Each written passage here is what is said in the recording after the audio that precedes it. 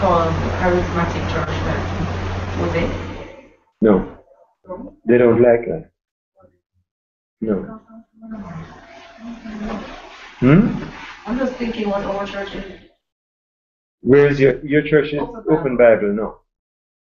No. The open Bible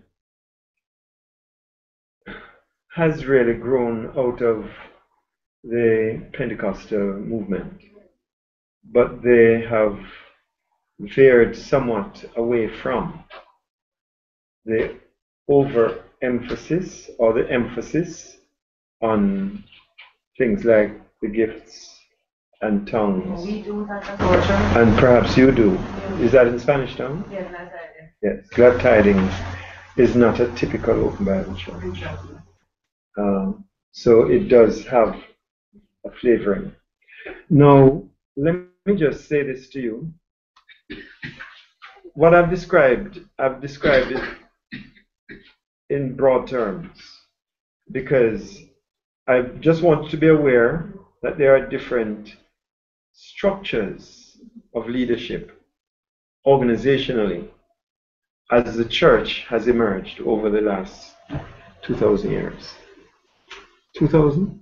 1,000? What are we? Yeah, we're 2,000 now.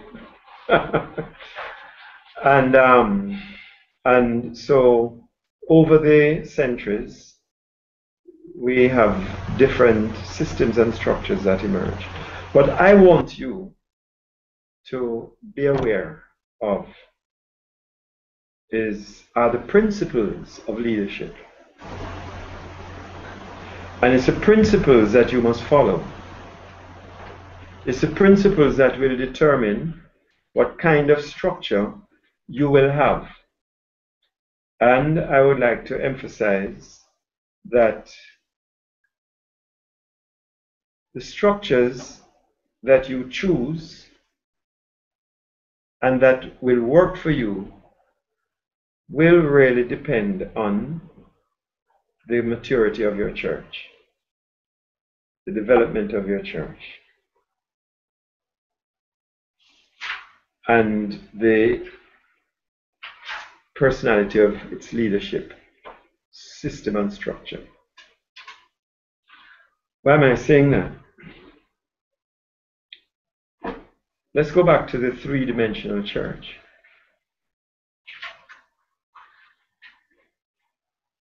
Churches are started for different reasons. Sometimes a church is started out of an evangelistic crusade. So there's an evangelist like V.T. Williams or Herro Blair who have exercised a dominance in ministry, powerful man of God, is part of the dominion mindset. And they go out and they capture people from out of the jaws of hell let us say. In other words, they win souls, they exercise dominion, and they gather people.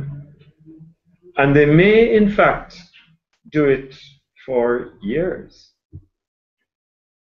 V.T.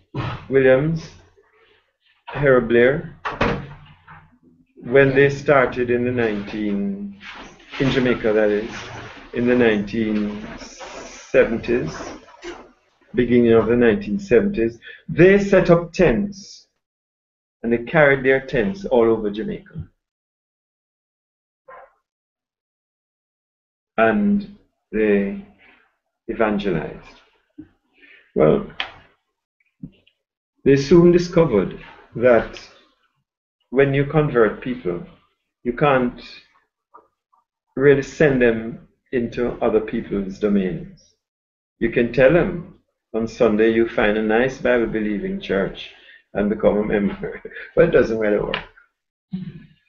It doesn't work because they get caught up in the movement that has been established by this dominant personality and figure. And what invariably happens is that the evangelist begins to take responsibility for his converts and becomes a pastor. And his evangelistic thrust may be blunted, not immediately. He may still have the evangelistic consciousness, mindset, produce evangelists, send out people, but he becomes a pastor. So V.T. Williams becomes a pastor on Walton Park Road, big massive church. But he also has other churches around where he had tent crusades. Mandeville, St. Thomas, all over the place. Very similar thing happened with Herro Blair. And what the challenge that these men have now is how to become a domestic church or to develop the domestic dimension of the church. That is, how do you take care of your own? The sick must be taken care of, the poor must be fed, children must be sent to school, and if they have the ability, the managerial ability, they will shift from being the evangelist that is going all over the island with their tent to being a local pastor taking care of his the body of Christ, the flock, the sheepfold. It's not surprising somebody like Herro Blair has done a marvelous job. So if you go and visit his headquarters, and he has other churches all over. But let's say the headquarters church, you will find that he also has a school. Mm-hmm. You'll find that he also has a, uh, I don't know what he called it, like a poor relief program. You'll also find that he takes care of the widows and the old old people like you and like me. And um, and so he has he has done a, a, a tremendous job in that regard. And then when they're all together, if it's going to be a balanced church, like Copeland was saying, then they need to have strong worship, strong prayers and intercession, strong focus on holiness, you know, and demand giving unto the Lord. All those are part of the devotional dimension of the church. You see. Now, who does that? The person who is able to do that, let's use Herro Blair as an example. He's a supreme example. He has been able to develop over the last 30, 40 years a church body and system that has maintained a very, very strong dominion mandate. That is why he could become the political ombudsman. Very few pastors would do that. Very few have the ability to do it. Very few have the theological mindset that would make them do it. But he does it. So he's not just an evangelist, that's part of the dominion mandate, going out and conquering, but he has engaged with the political system, with the social system out there, with the educational system, you know, and so his church, not to mention the media. So he, they actually have a media house You know, so he has been able to have and to maintain a very strong dominion uh, perspective and section to his his church. Then you have then, as I said, the dominion side he has mastered as well. And the devotional. So I would say he has done a good job. Sarah, the chapel and fellowship tabernacle, where, where do you see those two churches? I was just going to ask you about fellowship tabernacle. because the more I spoke about Herro Blair, I could say similarly about Al Miller. Yeah. But Al Miller came on the scene a little later. Uh, but he has done a marvelous job until he has gotten in trouble. You know, because it really does take a lot of wisdom and um, you, you'll be attacked. Jesus was attacked. Jesus got in trouble too. Um, but you could say the same thing about his church. If you go to his church, his worship is awesome. And they have all the gifts that are expressed in worship. And, um, and so on. Uh, the interesting thing about Swallowfield is that Swallowfield was not founded by the person who runs it now. Feltab is. You know, um, uh, church was the name of it? No. Del- Deliverance Center. Yeah. Okay. Um, VT is the founder of his church. He's still there. But the thing about Swallowfield is that Swallowfield, you know the foundation of Swallowfield? It's brethren.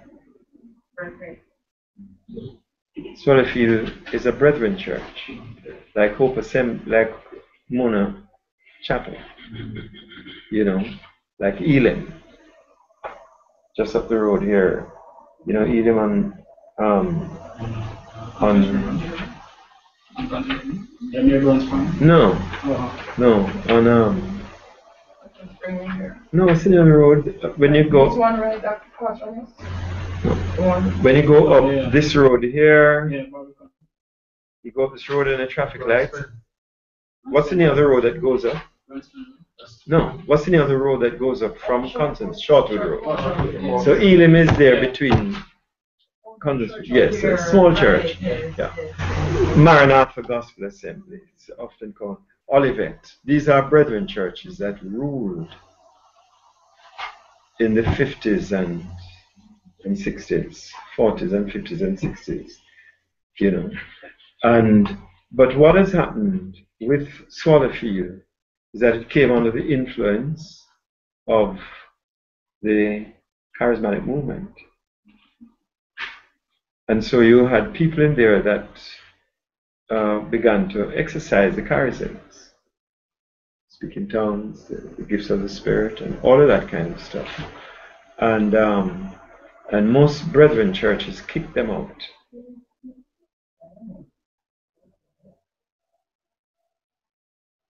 I can give you names of people who were kicked out of their churches, and you would not even realize that that's what happened to them.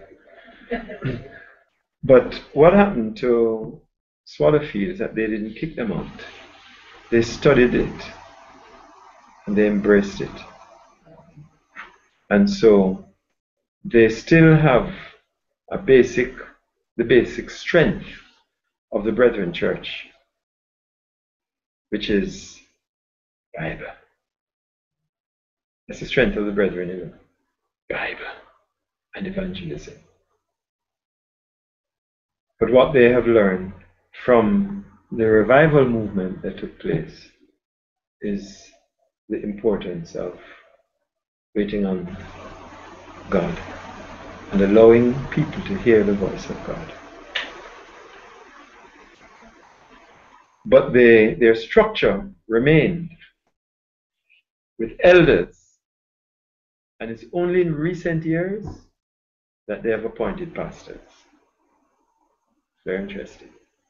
So they have really emerged and they don't look like a Brethren church anymore. But they can get away with it because the Brethren churches believe in local autonomy. Right? So does the Open Bible. Although the Open Bible has a superintendent over all of them, but he doesn't rule them. He only administers, right? Yeah. And um, he's like the point of contact for them all. Okay. Um, the reason I'm spending the time to talk about this is because I want you to be thinking about your own church.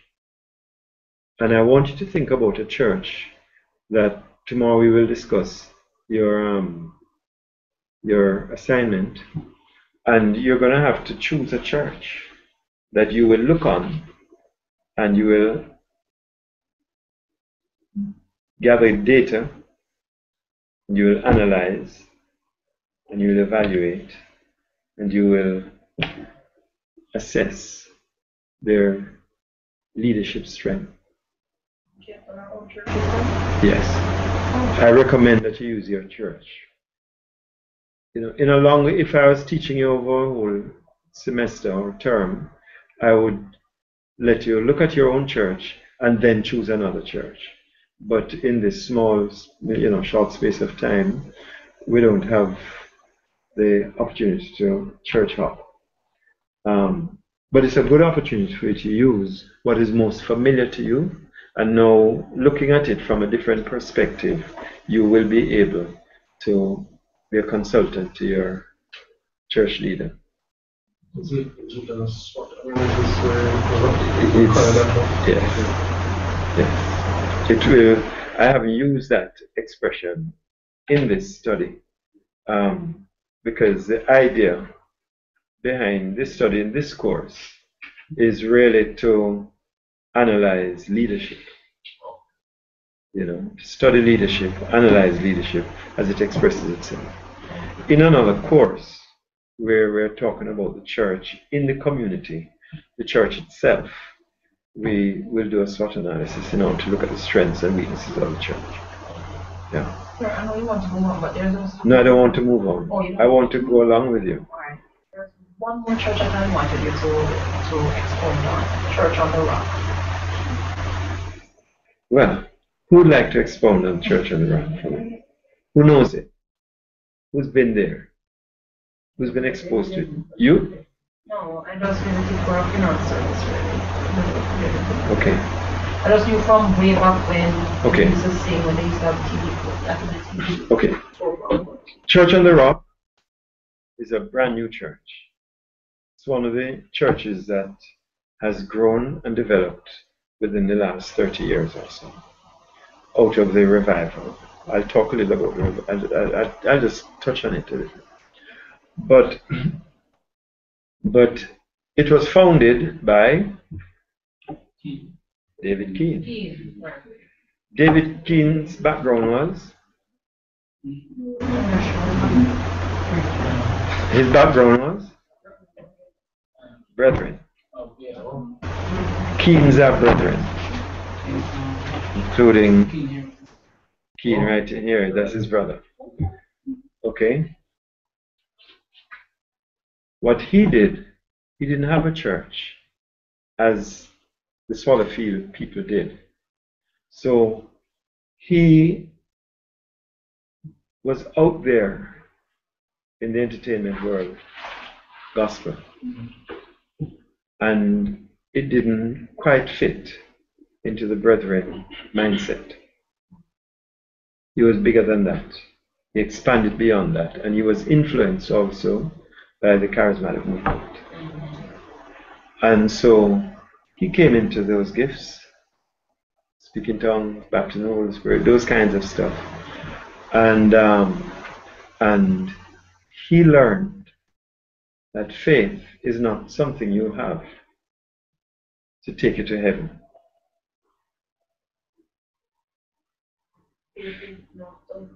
you possess that takes you to heaven. When I was a young man, growing up in under the influence of the evangelical movement, my understanding was that you needed faith because you can't see the realities. And you have to hold on with grim determination until the Lord returns. And then you will come into everything. Right, Michelle? I haven't heard what church you come from, the Catholics. Okay, you soon tell me. but then I discovered, as many were discovering in the whole movement revival, that faith was not just something you possessed to keep you going until you come into the real thing in heaven. Jesus comes. But faith was something that you have that gives you the power and the ability to bring what you're hoping for into the present. So you don't really have to die to go to heaven. You can be in heaven right now. and you can bring heaven here with you right now.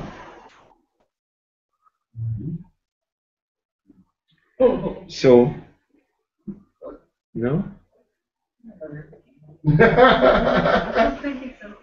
just thinking, and your head shakes when you think. This is why, this is why the, the, the movement that emphasizes faith now tells you that you don't have to be poor. Because faith can help you and direct you to take hold of what you don't have to make it yours. And not just yours, but for those who belong to you. It is that kind of faith that tells you that you don't have to give in to sickness. You can champion the cause. If you're sick, you can believe for healing. The evangelicals told us that healing and miracles and all of these supernatural things were for the first century. It went out with Jesus and with the apostles. But now faith is restored that tells you that the things that are not, you can believe them until they are. Mm-hmm. Not just until they are, you can believe them so that they become. Mm-hmm. And so you begin to have, you don't wait to go to heaven to experience the presence of God. In case you weren't aware, what you're experiencing in here is the presence of God. And you may have a strange sense. Even your heart might beat a little, or skip a beat. Or you're wondering, I never thought of this before. I never thought. Why, why, is, why are you getting new thoughts? Because you're going ahead of yourself.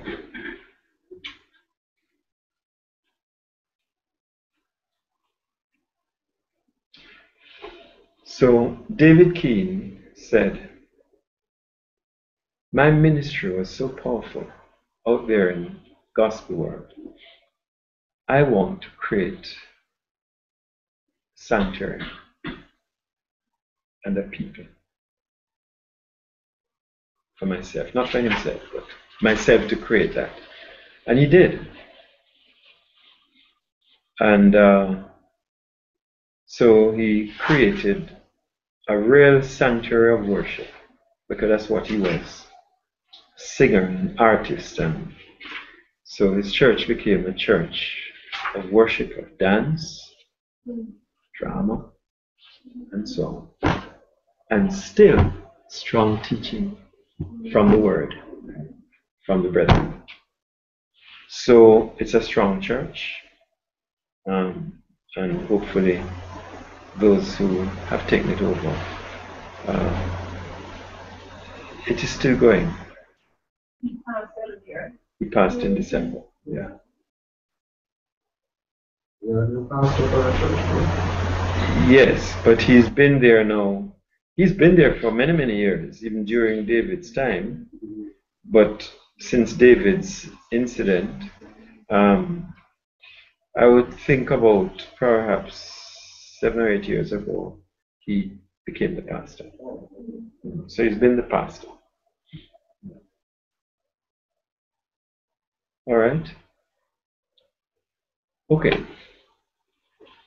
Now, one of the reasons why I'm, I'm linking the whole understanding of church, church leadership, leaders within the church, church government, and the leadership of the church in the community. And also tying that into the kinds of people that the church must produce. It must produce leaders who not necessarily are leaders in the church, but leaders from the church. What do you do, Michelle, when you're not domesticating and ironing your husband's clothes? Oh, so you work in the education system. Yeah. And we need leaders there. Okay? So,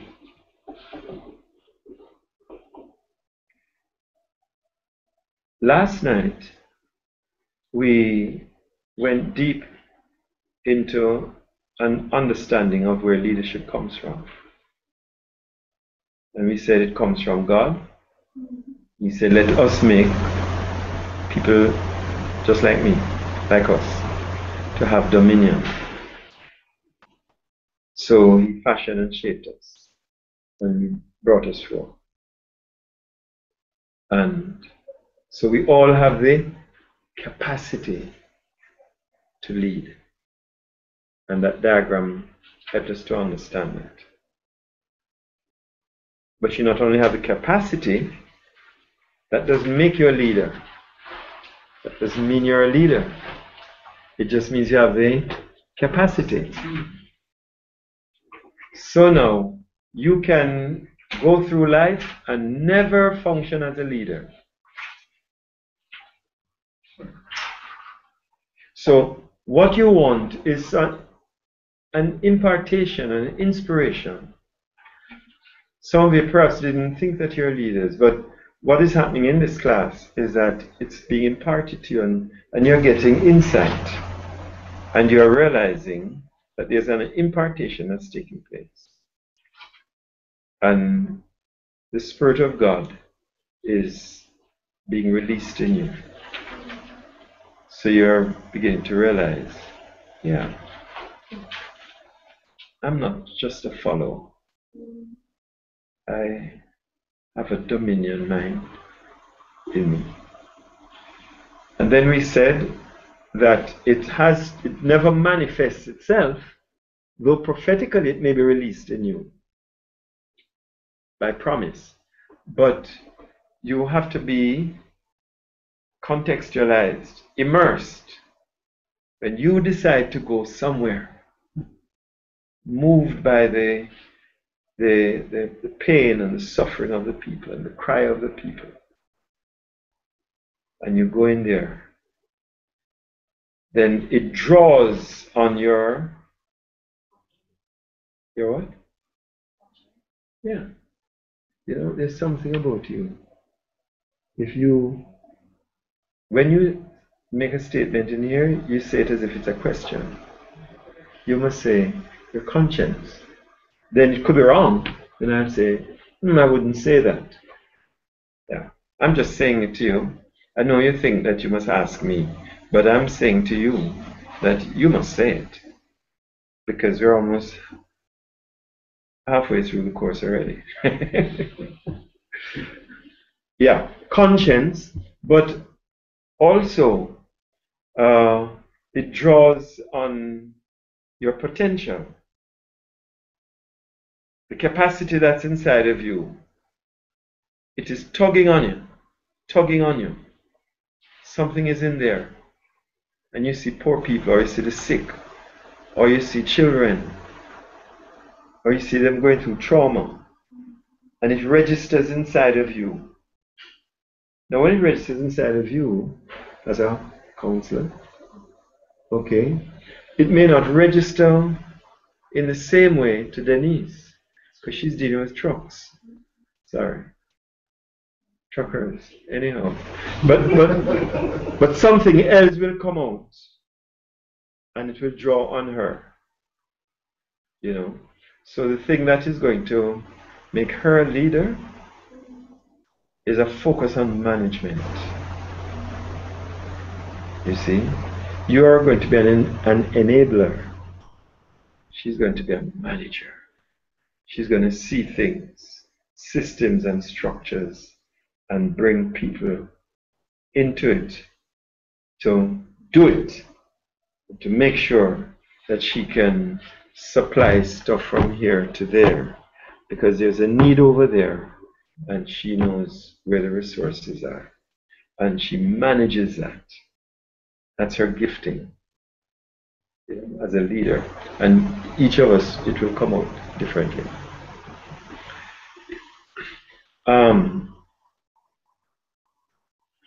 so once that begins to happen and you're challenged by the children that are going through trauma or the needs that are out there in the raw world, you know, or what you're seeing happening with the needs of people to plan and organize for their life. That's what insurance does, you know. Then, then you realize that you have a place, and all you need now is to link up with the guy who sent you mm-hmm. and cut a covenant with him. Actually, he's been waiting on you to cut a covenant with you. I'm talking about God. And that's where dominion comes in. Because usually, the challenge that you face is a challenge that often makes you feel as if it's more than you can handle. Hmm? And then he says,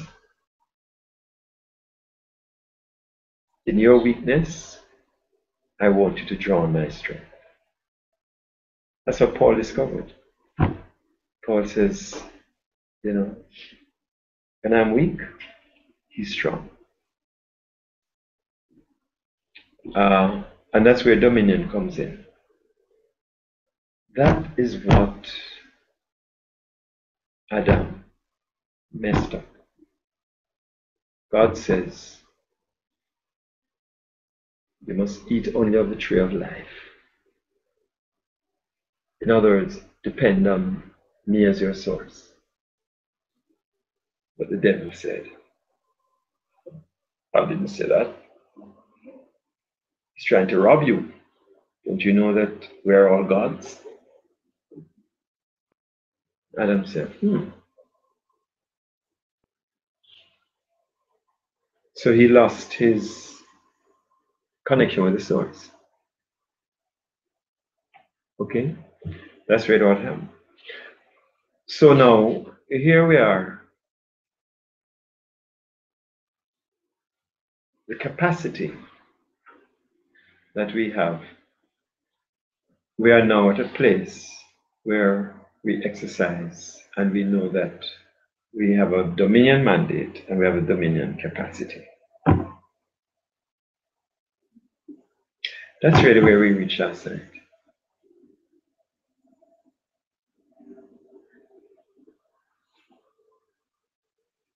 You're still not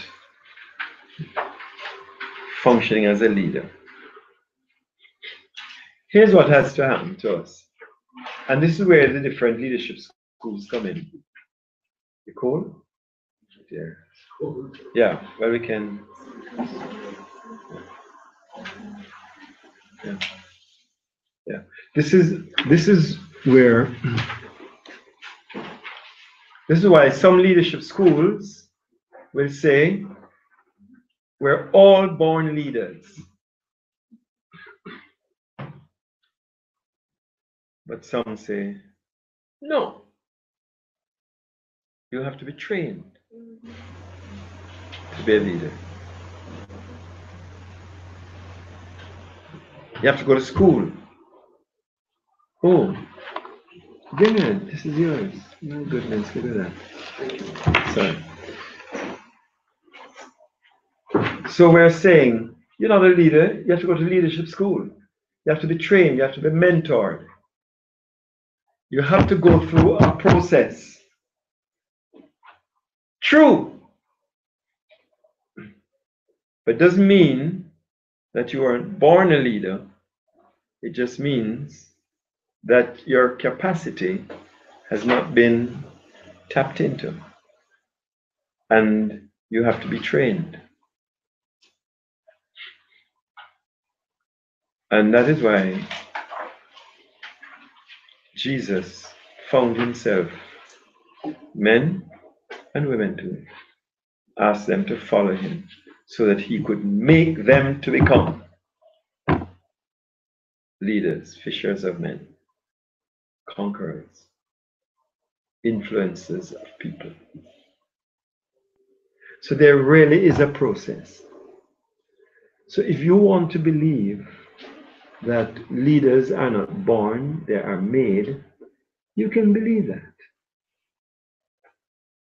But when you come to talk with me, I will say the only reason why you can be made is because you have the material already. And education is now understood not as something that is given to you. You know, like you come in here and you're all empty heads, and I'm the repository of all truth and knowledge, and I'm pouring it into you. Open your head, pour it in, and then at the end, I cover it and give you a degree. But that's really not education. That may be indoctrination. But what education really is, it's helping you to discover who you are. And then when you discover who you are,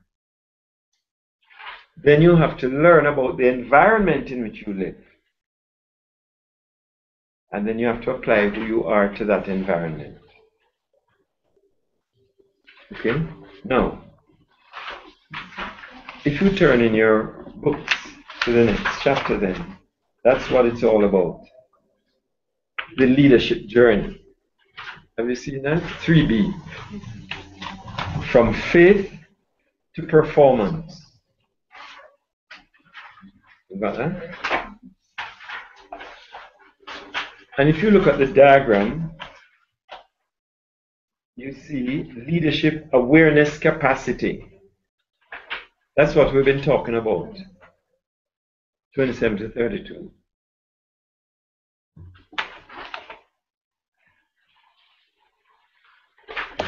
So I hope we're convinced that we have a capacity. We're born with a capacity. We're wired. We're programmed.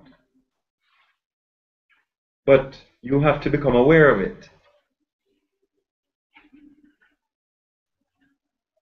But at the other end of the spectrum, what is that uh, called there? Uh, let me see. Is that what she's saying? um, yes, yes, yes. Okay. Oh, yeah. Leadership ma- management. What is it? Performance. Management performance. Is that what it says? Yeah. Leadership management performance. Yeah. Yeah, leadership management performance.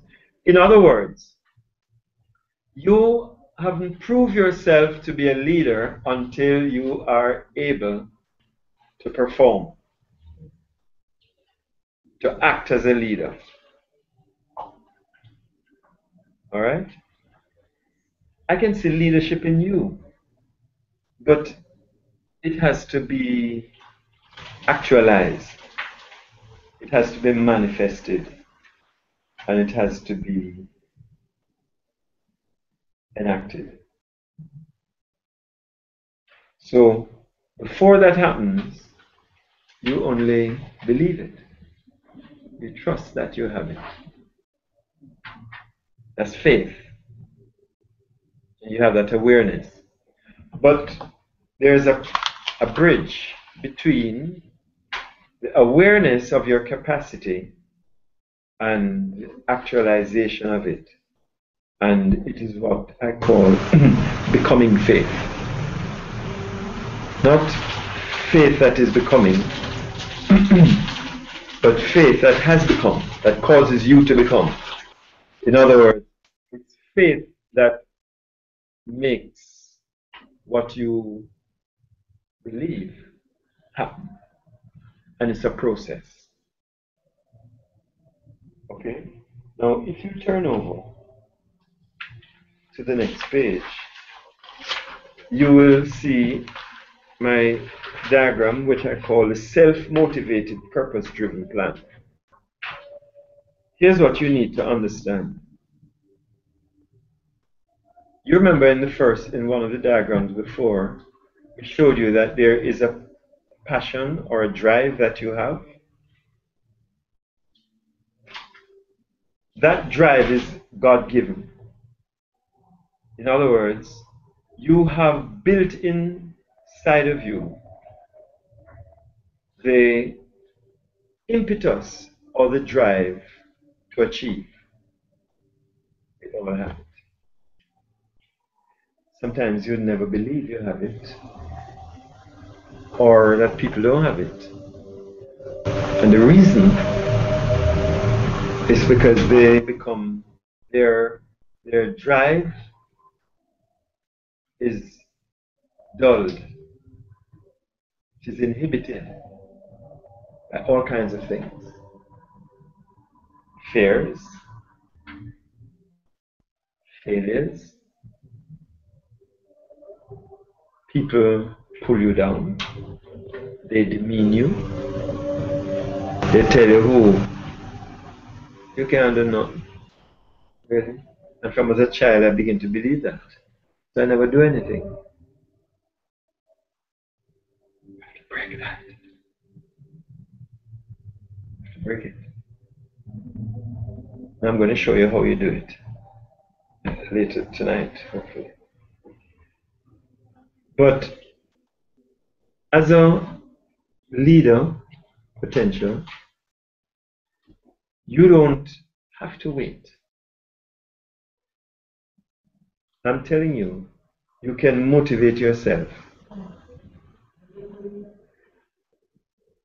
So this diagram helps you self-motivated, purpose-driven plan. In other words, you are born for a purpose. And that purpose is what is drawing you. And when you go into an environment that that excites your purpose, somebody once said, anything that you're angry about, that's what you were born to do. Yes. Because if you're if it angers you, it means you're dissatisfied. It is ticking you off. it is resonating somewhere inside of your consciousness. And the thing to do is not to blame other people, curse them off. So oh, you're worthless oh, or you all is to realize that that should drive you to find an answer.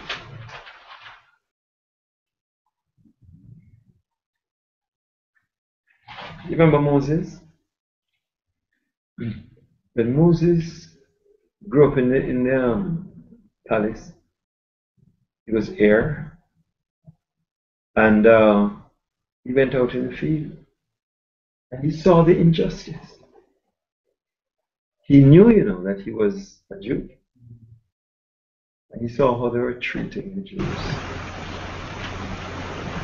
And what do you think he did? He hated oppression.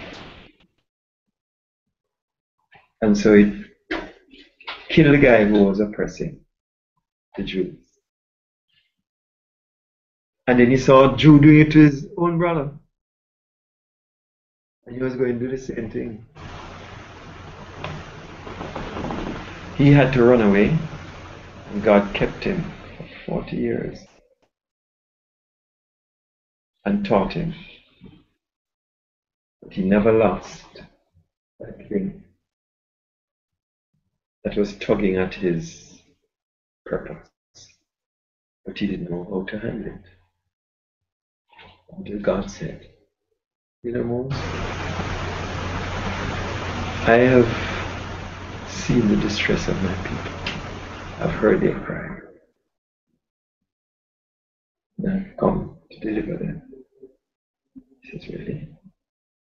He says, No, you go and do it.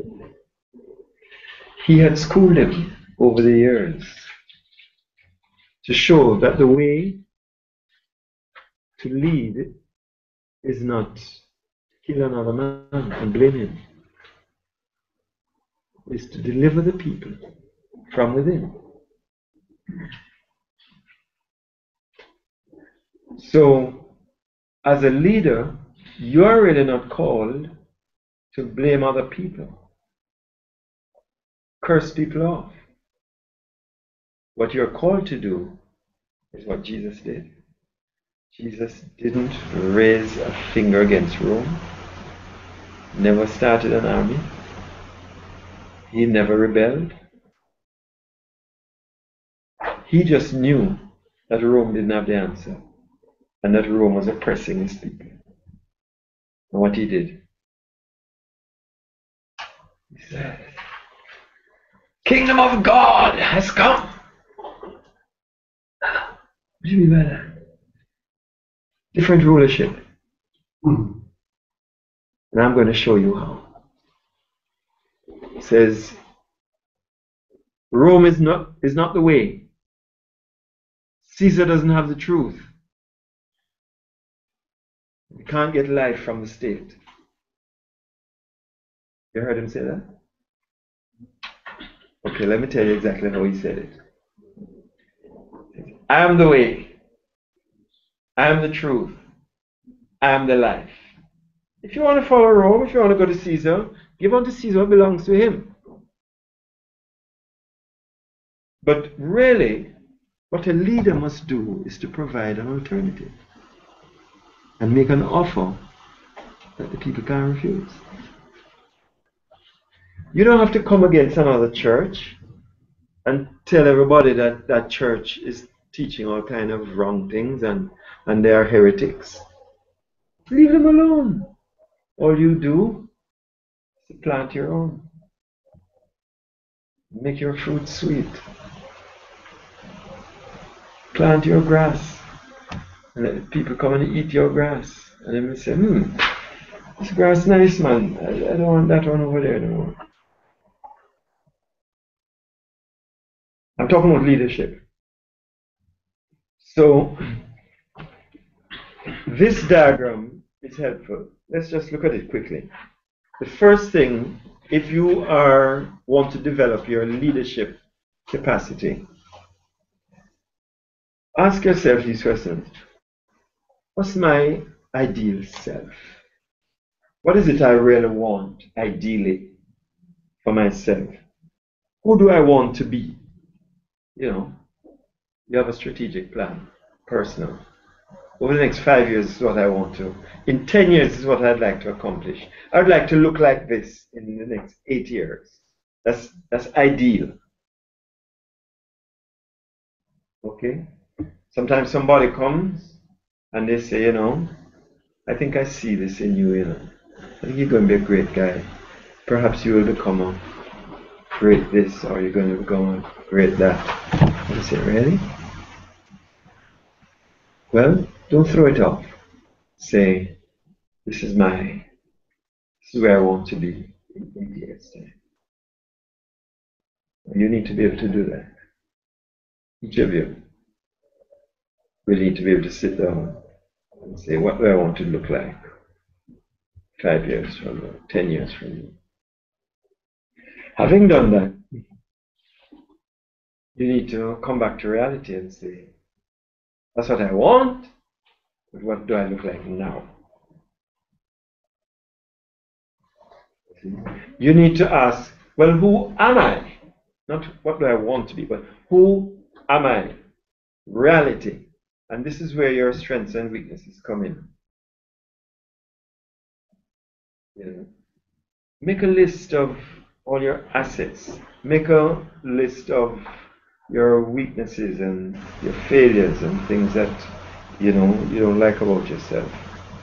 And then you draw up and look at the difference between mm-hmm.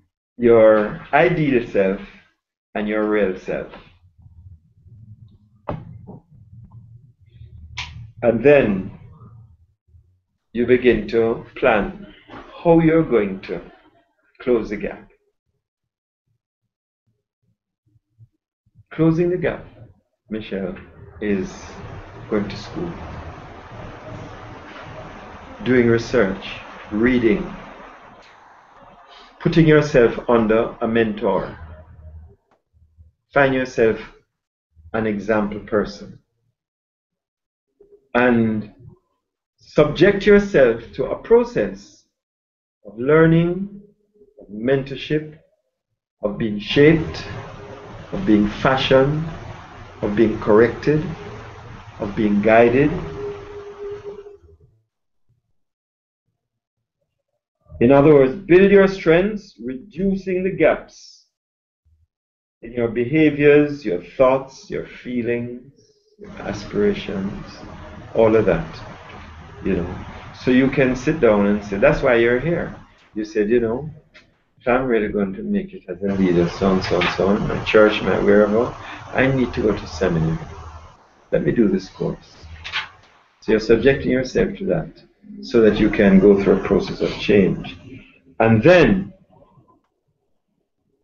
having gone through months, probably a year, two years of learning, training, discipleship, and so on, you now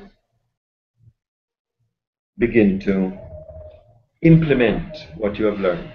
What you are becoming, you begin to try it out.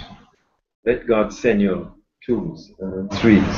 Go out, take on a project, you know, go and be interned somewhere, um, or just go and start to do it. Okay? And the more you practice and process your experiences, the more confidence you develop about yourself because now you're growing. Okay? And then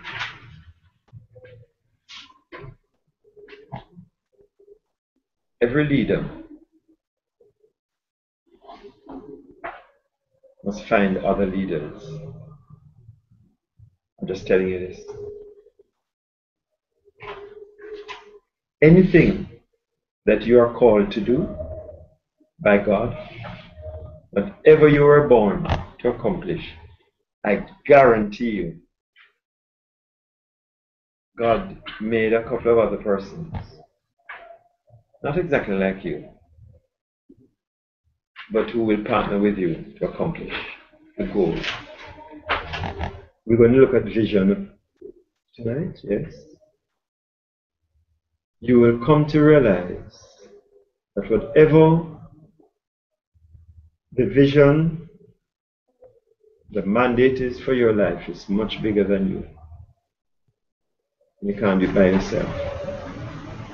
So you have to network with others. You have to find others can complement you. How do I know that? Well, from the beginning it was like that. After God set out Adam, he says, you know, it's not good for you to be alone or to handle this thing by yourself. So Adam went around and checked out all the animals, but none of them really fitted the bill. God said, I'm glad you realize that. Let me put you to sleep. And I'm going to create somebody who will walk with you and work with you. And he did. So you must always, a leader who cannot work with other leaders is a failure. He will fail.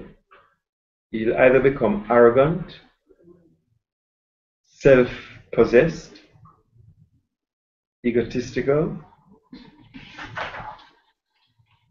Soon people won't follow him.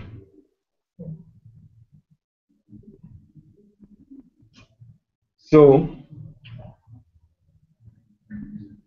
under that diagram is a very important paragraph.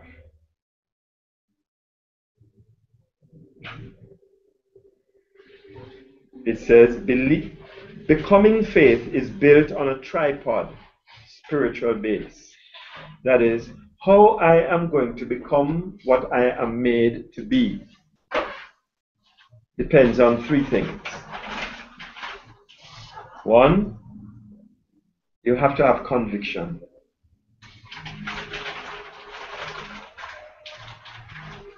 And conviction comes from your belief system. You must believe. What you believe is your conviction.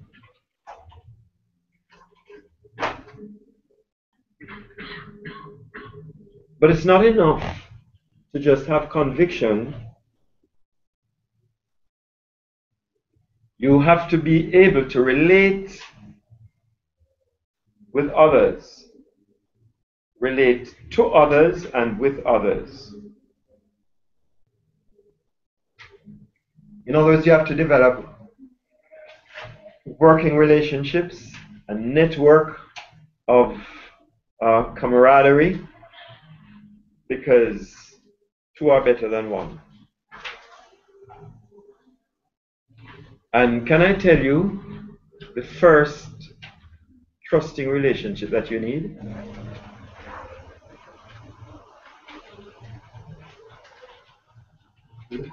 Huh? Huh? You lost your tongue? Or are you eating? Yeah, you have to trust God. Do you know it's not enough to believe God? You can believe Him, but it doesn't work until you trust Him. In other words, you have to put yourself in His hands. And then the third thing is what I call so you believe with conviction, you trust with confidence, and you love with compassion. Do you know why that is part of the tripod? Because it is love with compassion that directs you to apply your leadership skills. You are really not called to save everybody, to deliver everybody, strengthen everybody. But you are called to a certain set of persons, and the, the way you're going to be drawn into that is when you are what said about Jesus, and he being moved with compassion. Mm-hmm. Or being drawn by the passion that is inside of him that connects him. Come, passion. You become passionately identified with somebody, some need, some situation out there. And that is what draws you. And you can accomplish it as a leader because you are not working on your own, but you have a trusted relatedness with others, and you know you will make it because you have a conviction about it. Those three very important tripods. It's on the next page in that diagram. Faith capacity is built on a tri base believing, trusting, and loving. Now, let's look on each of them. The believing matrix.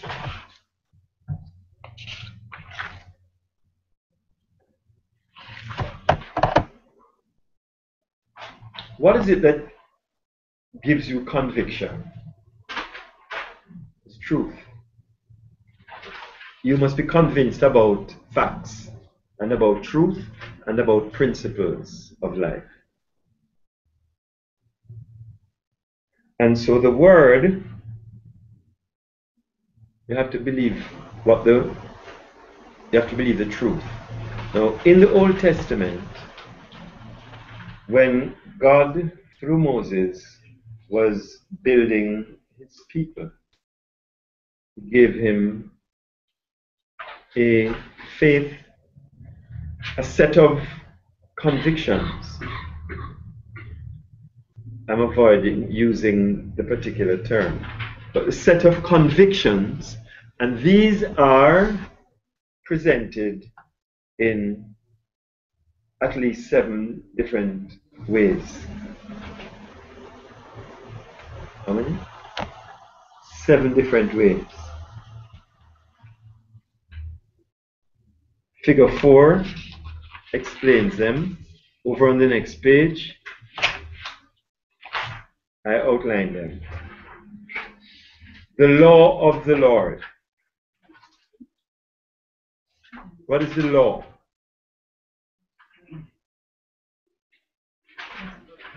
Principles. Laws are principles. And we have to learn principles. Leaders, can't make it without knowing what makes things work. What are the laws governing different circumstances and situations, socially, dietarily, you know, naturally, natural world, and so on. So, the Bible talks about the law of God or the law of the Lord. It's perfect. And then it also has another term called the testimony of the Lord. These are different ways, Dennis, to grapple with truth.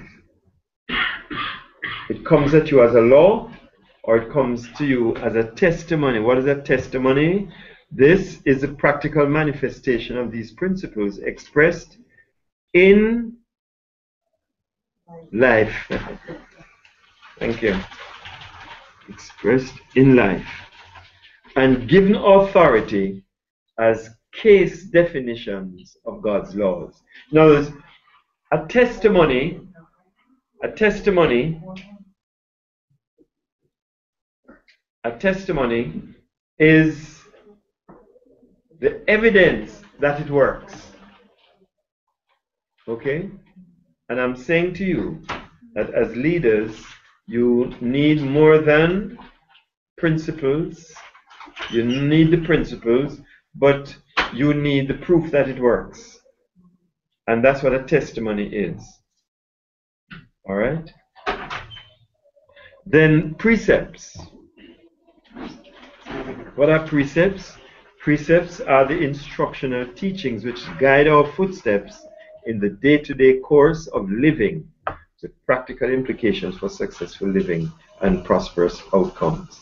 In other words, the truth comes to you as precepts in which you are actually instructed in specifics, in areas, in different contexts and settings. So precepts are really teaching, instructional teaching. Then statutes. Statutes are defining laws governing particular contexts and settings. So the government will set up a, a company to deal with particular things, and he calls that a statutory board or a statutory company. And it has terms of reference and functional uh, guidelines, and just like the um, what is this thing that is set up? Particularly the commission is set up as a statutory organization with its terms of reference and and so on. So we need statutes. Statutes are not statutes. I used to think so. But statutes, you have statutes that govern the home. You have a different set of laws that govern the civil society. You have a different set of laws that govern corporate entities. You have a different set. And these are statutes. And so the way the family is governed and managed may be different to how your business house is, is, is managed. It has different statutes governing it. Then, How would you say then those would fall under the law? For example, in this case, the law of God over the general law. Alright, if you use a, if you use a country situation, then Yeah. you could not set a statute for the um, Commission of Inquiry that, that um, um, contradicts one the law of the land. precisely, that's correct. That's good thinking. Because the law of the Lord are the covering principles. Mm. And the statutes are there to express the law in a particular context. So it will go into more detail. But it won't break. It still have the the the overall law. Law of gravity applies to everybody. And then now we have commandments. Commandments are obligatory, directed, and directive stipulations. When you a commandment is things that you must do, and you don't veer away from it. And it re- requires response. Then there are judgments. Judgments are the stipulations which govern sanctions or exonerations. In other words, when you pass a judgment in the in the court, for example, they will study previous cases and they bring those cases in order to explain or to be applied in your present day situation. So lawyers study cases going back in history, you know. It's called precedents. And um, and so that's called judgments. In other words, a decision that is made in a case will help in understanding other cases which have a similar uh, kind of situation. And then the word of the Lord reflects the current words, the Rhema of God, whether as instruction, declaration, law, etc. It is God's Rhema in any given situation which reflects the ways of God to his people. In other words, God may want to say some things to you right here and now. That's the word of the Lord. And I'm telling you, Deuteronomy is full of it. Almost every chapter begins. And the Lord spake unto Moses, saying, Look at it. Chapter after chapter. That's how chapter begins. And God gives us a word. God will give you a word to go over there. And that word, when He tells you to go over there, is not in the law, but it doesn't break the law. So He will send you over there to go and rob the bank. But He will send you over there to receive what is in your account. Tell you, go and see there's a man with a donkey over there, tell him, Lord has need of him. Okay, that's a Rhema word. Okay. The next thing I just want to mention is trusting faith. We explain trusting faith. Um,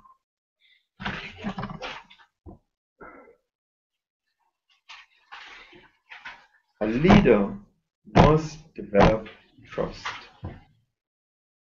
Any leader that cannot develop trust, and any leader in whom others cannot posit trust.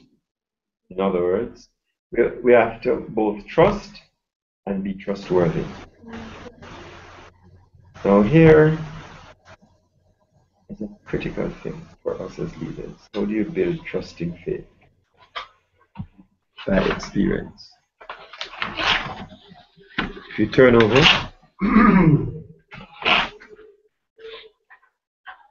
figure 5.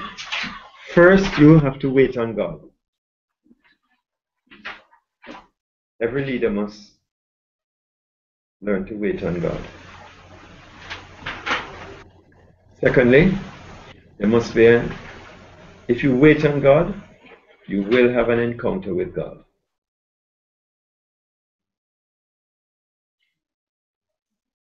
Okay? I can guarantee you that. He wait on the Lord. They that wait on the Lord. Right? I'm speaking to leaders who are born leaders but who want to become what they are born to be. You must wait on the Lord. And you will have an, a divine encounter. You cannot create a divine encounter. You can only put yourself in line for it. It comes when He knows that you can handle it. But God is committed to meeting every one of us. Why? Because He born us with a purpose, and He's committed to that purpose. And then, thirdly, when you have a divine encounter, you will have a revelatory insight. You will have insight. You can't have an encounter with God and not come into new knowledge and insights. And then, every time that you have an an exposure to God and you have new insight, it is accompanied by promises. He will tell you, okay, now, wherever the soles of your feet shall go, I have given that to you. Step over Jordan. Yeah. Because I have promised you that land. Talking to leaders, right? It's scary, know. But he's not going to leave me. Any promise he makes you, he is covenanted to that promise. It's part of a covenant. And then when you see the promises, something is going to jump inside of you.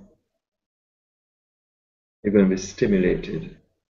I call that personal desire. It's just going to spring up in you. You're going to realize, I want that thing. I'm going to go after it. I'm going to champion that cause. I'm going to release those people. But once you have the desire, it will die if you don't obey it or respond to it. And then when you respond to it in obedience, and you you have what we call hope. The reason why we obey by faith is because we know that it's going to happen. It's waiting on us. That's what we call confident hope. And, and hope doesn't make us be ashamed. In other words, hope never embarrasses us. Or put another way, hope will not let us down. I'm talking to leaders. Yes. You mentioned here of personal desire. I mean, there is something that you, you want to, or say for example, there's an area that we want to lead. But in order to get to that position of leadership, this is based on what the people say. An election then. Okay. you have all the ideas, well, you have ideas, not all, but you have ideas you want. You believe that you would be able to lead and lead to the point where a person's lives will be impacted, a person's life be transformed. Yeah. But yet, it is up to the people. Yeah. I know, ask the question, and I've wondered to myself, I've heard other persons speak, not asking a direct question that I'm asking. Right. And they would say that it is the Lord who will appoint leaders. Yeah. Hence, if you were not so-called elected, it meant that you were not Appointed by God. appointed by God. But this is a personal desire. I'm just I'm just making mention of it now because it would seem as if because it's your desire, you will automatically get there. I see. So we probably needed to put in another little section there. Because the fact that you desire it doesn't mean it's going to happen. And the fact that God wants it to happen doesn't mean it's going to happen. No, because you see, that desire is put in you by God. But you have to now obey. In other words, you have to find out how then can I come into it. So the people are not going to vote for you just because it is God's will. You have to win their trust and their confidence. And you have to find out, well, Lord, how do you want me to engage myself with the people so that your will can promote me? See, God doesn't promote us if we don't deserve it. And the way you deserve it is if you win the confidence of the people. So you're going to be leading them. But what if you're not in that position to interact or for them to Then if you're then if you're then if you're not in that position, you're not yet ready. Have to wait on the next election. Can you, can you, what is it? when you desire the people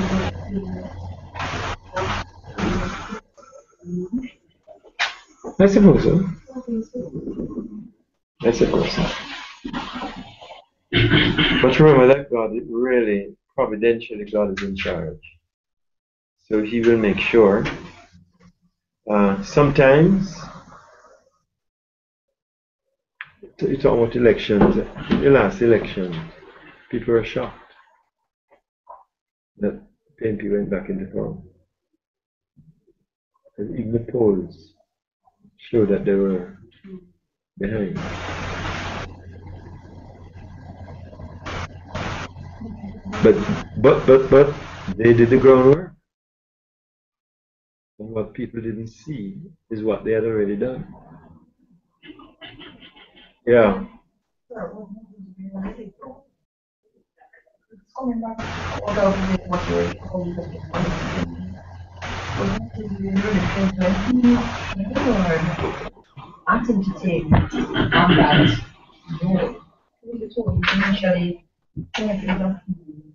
humility?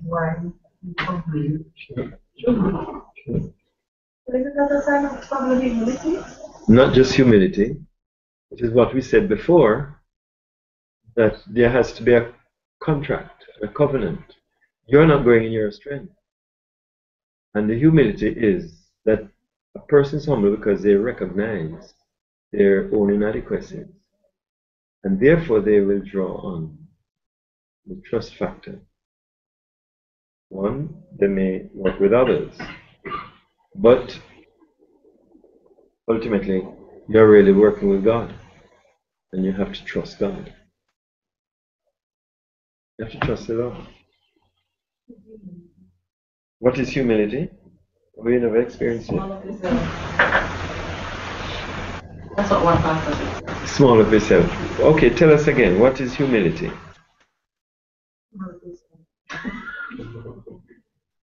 You've learned something today. Sir. no, we're answering it. Eh? No. Yeah, we can move on until we answer that question. What is humility? At least somebody in here should have that quality. Who, who the most humble person here? I mean, you could consider yourself humble because you do not do certain things. so- And really want to understand and really because they're telling me I'm certain. What is You're not exalting yourself, you're not boasting, you acknowledge your faults, your weaknesses.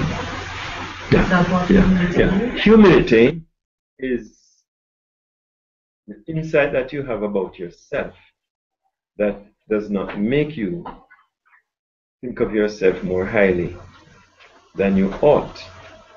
Now, how should you therefore think of yourself? You should think of yourself recognizing that you can't do it alone, that you are not it, that there are others who have gifts and abilities as well, and that you cannot make it without God. And in saying that, you may even be able to say, I will cannot make it without you. For you, for me to come and say, you know, we have this task, and I need your help because I can't do it without on my own. That's humility. If you go and say, you know, we have this big thing, know, and I, I really think I can handle it. I mean, of course, if you want to help, you can, but, but if you don't even come, I go on and do it myself. you'd get into that trap. You know, or some people just simply say, I don't need anybody's help. And they soon discover that they need help. Sorry, can I- I was listening to a speaker and he said that humility is the opposite of pride as we go down. And so it's pride that got Lucifer the problem in the first place. Yeah. That he was kicked off the throne, kicked off, kicked Yeah. out of heaven. And he made reference to Psalm 35 verse 13, where David says that his soul, he humbled his soul. And he also went on to say that, I'm, I'm trying to, to, to speak to you, Keon. Oh, yeah, man. Yeah, he also went on to say that it is the soul that is the will, the will of man. And therefore, it is not no longer my will, because the will wants to do it my way, but it is God's way. Yeah. Yeah. I mean, Jesus, look at all that Jesus did. And yet, what was demanded of him? He said, Boy, I can't really handle that. You know, isn't there another way, Father, that we could do this thing? The Son? Way? He could have said, Well, I'm sorry, I'm checking out. But he says, Not my will, but thy will. That's humility. Yeah. All right. Uh, interlocking passions of this is very important. Um, leadership of compassion.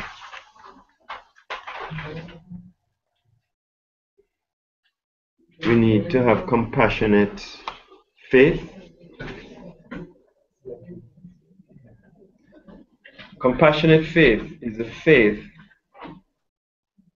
that that directs us towards a particular setting, a particular person, a particular condition, a particular situation, you know.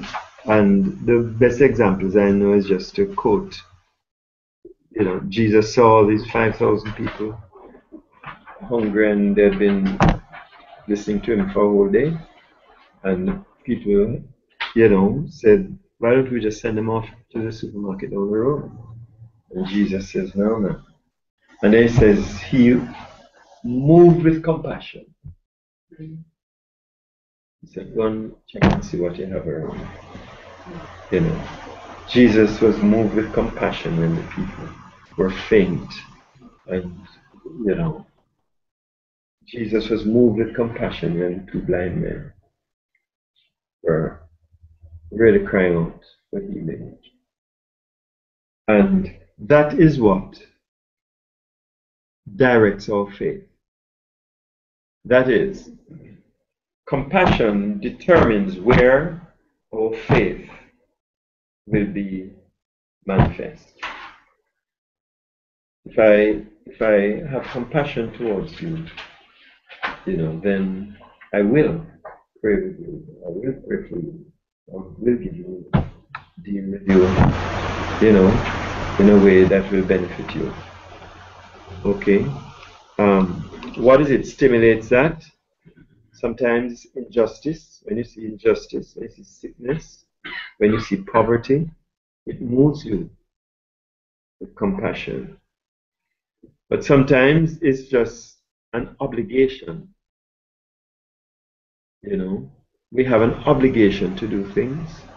Like those guys who go to war, they don't really want to go and fight but they have a sense of obligation towards their country. And that makes you identify with circumstance and situation. It, and when you have when you are exposed to situations, if you just lock yourself up in church, you will never become compassionate towards the poor. You're locked away. You know, you never expose yourself. You don't see people in their sufferings, and so on. Okay. 3C. I'm not going to spend time on that one. This is this one is so simple. Um, from self-awareness to self-management, we have talked so much about that. You must become aware of who you are, what your gifts are, what your abilities are, you know, but it's not enough. To become aware, you must know, be responsible for it and manage it. Look how much gifts and abilities you have. What you doing with them? You have to manage them.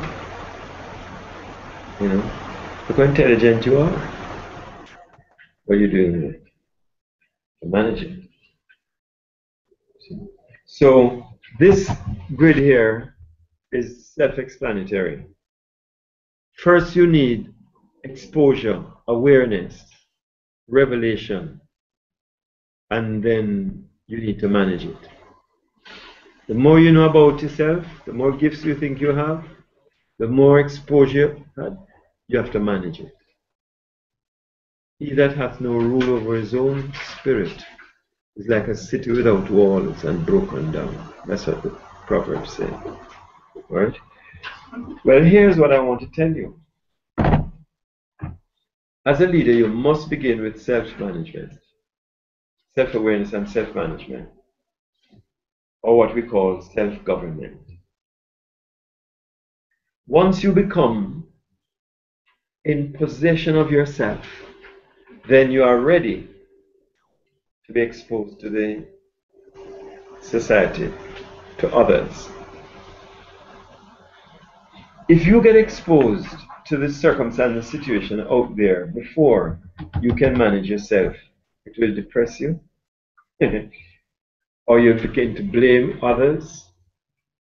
Or you'll begin to say, it can nothing can be done here. You know, But once you have managed yourself, then when you look beyond yourself and see what's happening out there, you say, hmm, I'm aware of what's happening out there. I think I can handle that. And you begin to think, you know, I could have managed myself, then I can manage it. So social awareness must lead to social management. And then beyond that, institutional awareness. It's not enough to to relate to people you know all these thousand people come and you just draw them and you can manage them. You have to institutionalize them. Jesus put it this way. When you produce new wine, you need new wineskins. You see? And that's that's how you institutionalize things. That's why the church started not as an institution, it started as relationships. And the content of your life. And then God said, Jesus says, you have to build a system and a structure. That's what happened to Moses. Tell me. Go ahead, talk. Um, self-awareness, he went that documentary. Yeah. And then he began to manage himself. Yes, and then? No. And then God made him aware of the people. Right. Social, yes. I'm just, yeah. And then? Then he had to manage. Then he managed them. Especially in the journey, through the journey. Right. When his father, then um, he was aware of the situation where he was able to manage everybody. And um, his father spoke to him and to set. You have to build a system. You have to build a system. And that is why, Denise, it's not sufficient to say I'm a leader, but a poor manager. You can't be a leader and a poor manager. Otherwise, you're only a leader potentially. Management is a process of honing your leadership capacity, honing it, shaping it, and allowing it to become useful. Allowing yourself to become useful as a leader. Yes, ma'am. As he mentioned Moses, and based on some information we was prior to know, why is it that Moses was unable to then not do all of those things, and he was already trained under the Pharaoh regime? Because he was heir to the throne, right? Heir to the. Your question. He was heir, right? Yeah. Yeah. He, he, so if, based on what you had said, is that if God had taken him out of the palace, he would have been, what's his word that I want to use? He would be terrorizing the people there. In other words, he would be like a pharaoh. He would, he would, like, he would, Yeah. So you have answered the question. but, but, but he was trained Where? in the palace To be? to be a pharaoh. Yeah. Yes, he, he was raised on the Pharaoh to eventually be, he was second in line. In fact, you know, he had a problem with Pharaoh's son. Yeah. But God didn't need a pharaoh. But what? God didn't need a the people need a pharaoh at the time? Come on. Imposing a custom. No, tell us. Yeah. So what I'm thinking, um, Yeah. the pharaoh didn't come to his, his because the people did not need a pharaoh type leader. Right. at the time. And that's what, Okay. yeah.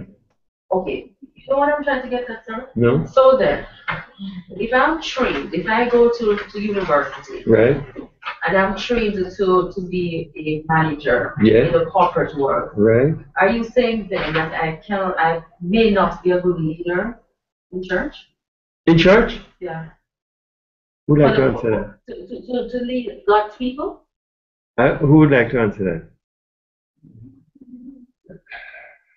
Not necessarily answer, but I- it just I- I- reminds me of Paul. Um, Very educated, well trained and everything. And, Paul was um, an intellectual guru, but, um, it, um, I think it's a little different. mm, with Moses because Moses was was trained to be a leader and he actually led people, Right. A multitude, a leader lot of people. when- But I'm just looking at my own church structure. It's a large church, and I've noticed something. Please don't say I say. But I've noticed something that when they choose leaders, they tend to want to choose persons who are who is who's out there in the corporate world. You wanna, you know, I'm trying to fix it up nicely. And I am saying to myself, well, are they necessarily the right persons to lead those areas? And when I came to this class, and I listened to the whole Moses thing, situation, I'm saying to myself that, you know, yes, you can be a good manager out there, and God will train you also to be a leader of his people, but it doesn't necessarily make you a leader for his people. So you're really making a statement. And you're, And I'm just, I just want to know what other person thinks. oh, oh, sorry. What do the other person think? She wants to know what you're thinking. Context is important. And, no, I'm saying I agree with what, what Denise is saying, and, and is, it comes back to the discussion we had earlier, we talking about the principles of management, or principles of leadership. You know, whether you're out there or you're within the church, there are principles that you really adhere to, follow.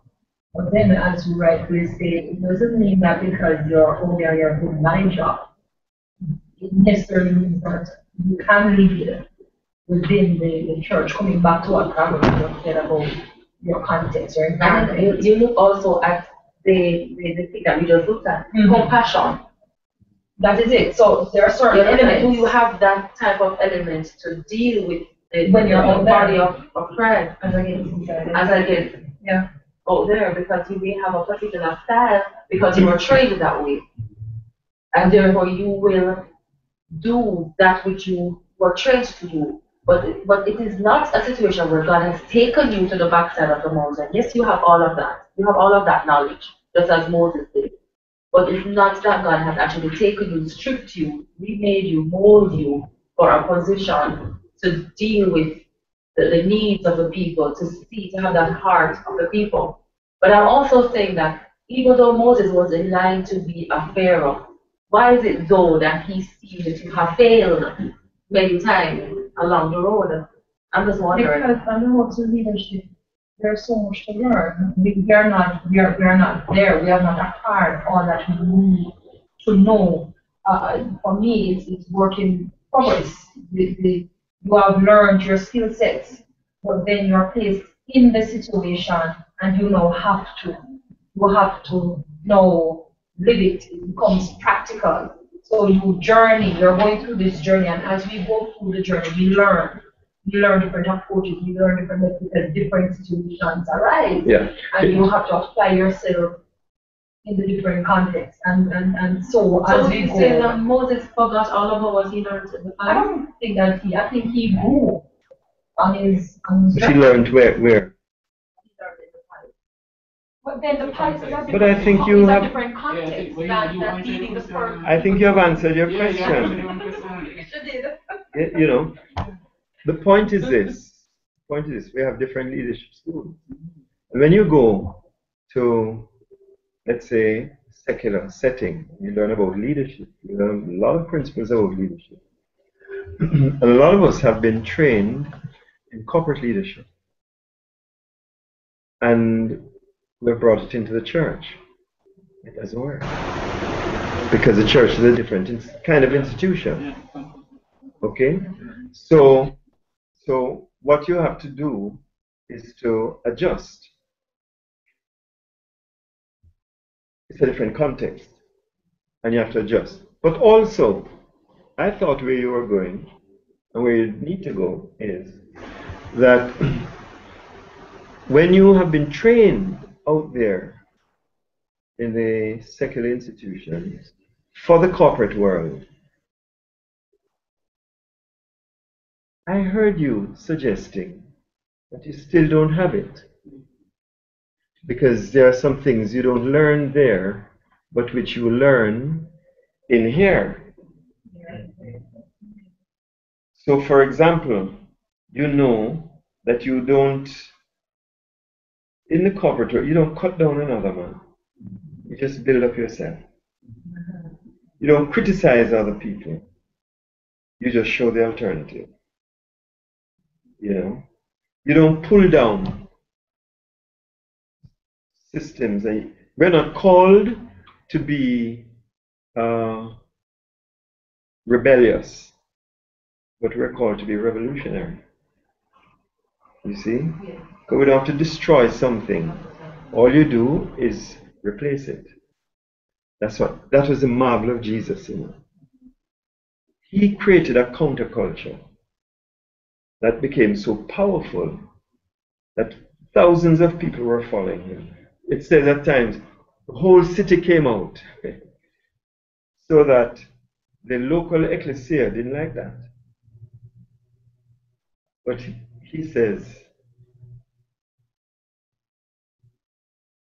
nothing can stop our ecclesia.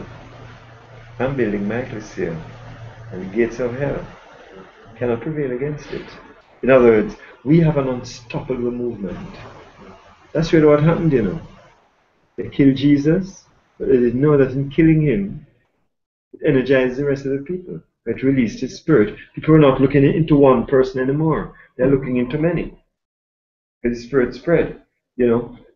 And um, and what you're learning in here that we discovered already is that we are not just learning leadership for in the church, but we are learning leadership of the church institutionally, and even more so, we're discovering leadership that will enable us to go out from the church and to take over the nation. That's what you're supposed to do. So you're supposed to be, you know, a leader in your community. You're supposed to become the PTA president, or you're supposed to become, you know, the community leader, or whatever. Mm-hmm. We're saying that there are two different types of leadership or second. There may even be more. There may be more. No, I'm just thinking Yeah. about the church Yeah. and the corporate, the corporate world. Can you apply the church leadership in the corporate world and um, affect? No, So, no. What you apply is leadership, which you learn in the church. Not the church's leadership, but it's leadership that you learn in the church. Okay? And you can apply that in schoolroom.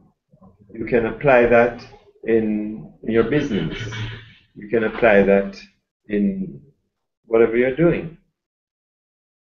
Yeah, you can. It's a different philosophy. Um, I studied, and I studied psychology, so that I, you know, you learn about all the guys, Freud, you learn all of them, Erikson, you learn Kohlberg, and you learn everybody.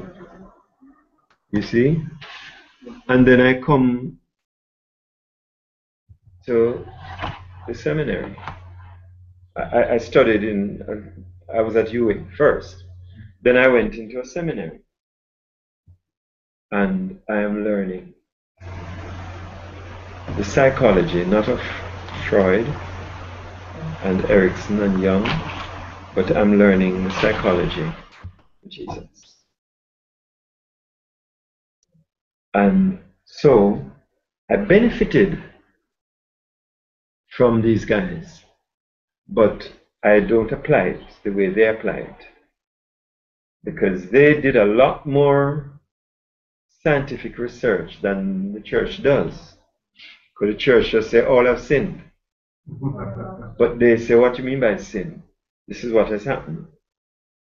And you begin to look at how people are traumatized. You don't just say the devil comes to steal and to kill and to destroy. You say, well, you know, trauma is caused by this, and then you divide it into all the different segments of trauma, and you apply it. So they have done a lot.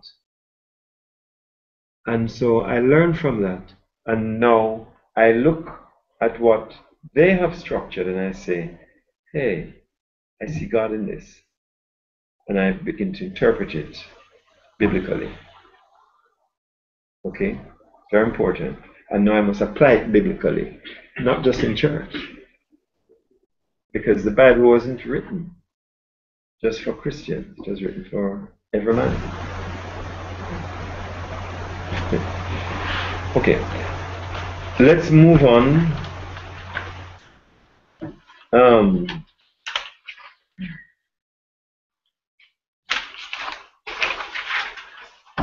you have to read this self awareness. How do you develop self awareness? First, by self inquiry. You have to ask questions about yourself, like, Who am I? Where did I come from? Why am I here? Where am I going? How will I get there? if you want to know your, about yourself, everybody asks these questions. They may not ask them in this order, and they may not ask them in this rational way. But these are questions that all mankind seeks answers for because they want to know self. They want to discover self. All right? But to answer the questions is one thing. You also have to assess yourself. So you assess yourself by figuring out what is right and what is wrong about me. And can I develop convictions and develop values that govern me? And when you have done that, then you come into what we call self confidence. Self confidence comes when you know your weaknesses and your strengths, your pluses and your minuses, and you choose to work in the context of your strengths. And you get help with your weaknesses. And so you can say to God, Search me, O God, and know me. Try me and know my, my ways. See if there be any wicked way in me. You know, it's only a confident person can go to God and do that. Most persons act as if they've never sinned. Yes. And they come and say, Who me? Me God? Is me talking about? Or is she? okay. Um, on on that the following page, I did something here which you might find interesting and you might do it for yourself. leadership directed community leadership, leadership directed toward community leadership. The following are 10 core statements which have formed Morgan's convictions in relation to personal leadership, which is directed toward community transformation. Okay? If you read those through, those are convictions I have, which is what makes me do what I'm doing in the community. Read it and write your own. Okay, then come to self management. So you have self awareness and it leads towards self management. Now, self management comes when uh, you are disciplined and you're controlled. See the diagram? Figure 8. When you discover purpose and you're driven, it's dangerous. You're a dangerous person.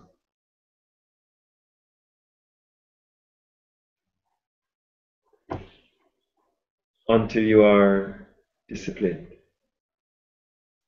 and controlled. It's not enough. Say, I'm going to change this country. The body will come in here and cuss off everybody. Why, why are you doing that? No, you're not supposed to do that. Could thump you down. no. You have to be disciplined. Now, here's how you're disciplined. I'm not going to go through it. You're disciplined by the word. In other words, we already learned that the word comes in many different shapes and forms, statutes and judgments and testimonies and all of that. The word is designed, the word in a general sense, is designed to provide the context within which you live. It is your guide. The word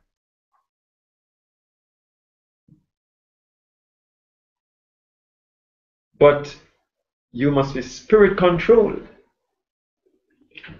Because it's one thing to be disciplined, so you're restrained, but you must be controlled, so because you got to move. You have to know how to go, where to go, how to get there.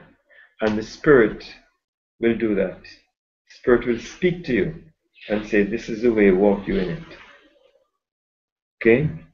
Um, so self management requires the discipline of the word and also the control of the spirit. And you can read read up all of that. Let's uh, is it in here? Somebody was talking the first day about male and female. Who remember? Was it in here? Yeah. Yeah. Well, this is where we deal with it. We're not going to spend time on it. But what I've done here is to divide, to separate. I, I try not to talk about men and women because, you know, Michelle, I discovered there, there's a little woman in me. and I don't want to disappoint you, but there's a little man in you too. Did you know that? Huh? You're not sure? Okay, I want to go through some self-awareness. Okay. In other words, in other words, what makes us male is the dominant, um, the dominant, um, yeah, you know, So, the old. True. And what is the word? I don't know. I just skipped me. Um, Traits. chromosomes, whatever you want to say, but the chemistry, the chemicals, right? Um, androgens, testosterone, and all of those. All right. But what makes you woman? But but is a dominance in estrogen and some of the other feminine chemicals. But I discovered I have some estrogen in me. and you have some androgens in you. You do know, boys. See? So it really is good, especially in this culture where some people not sure whether they're men and or women. You know, what we do need, nevertheless, is to know what is the balance in you, androgenically speaking or estrogenically speaking. Okay? Um, women generally are caring, men are generally rational. But I have a strong caring component in me. That's why I'm a pastor. Pastors have a lot of estrogen in them. I don't want to say they are women.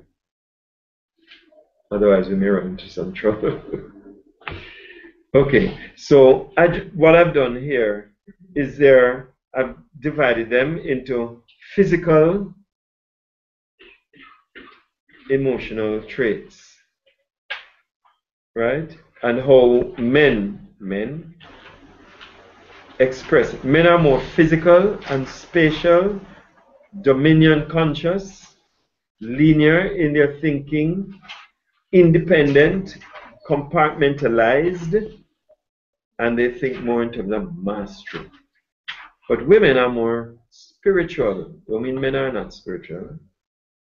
More relational, more security conscious, more indirect, more dependent, more holistic, more supportive.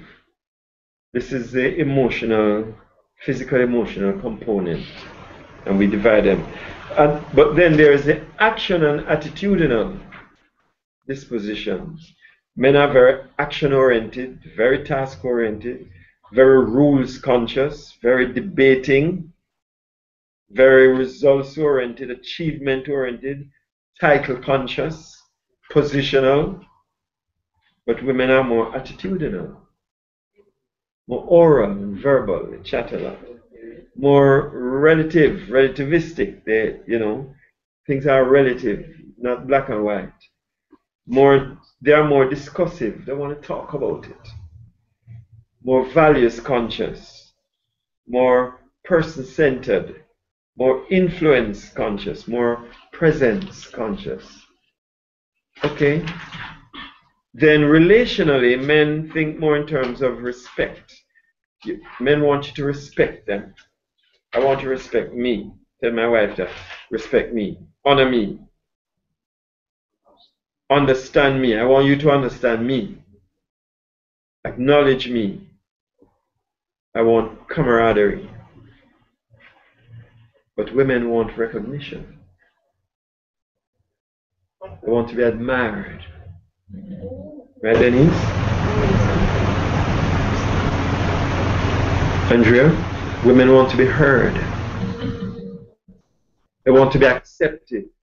Women think more in terms of intimacy. It's not that men don't have that. I'm just talking about the balance.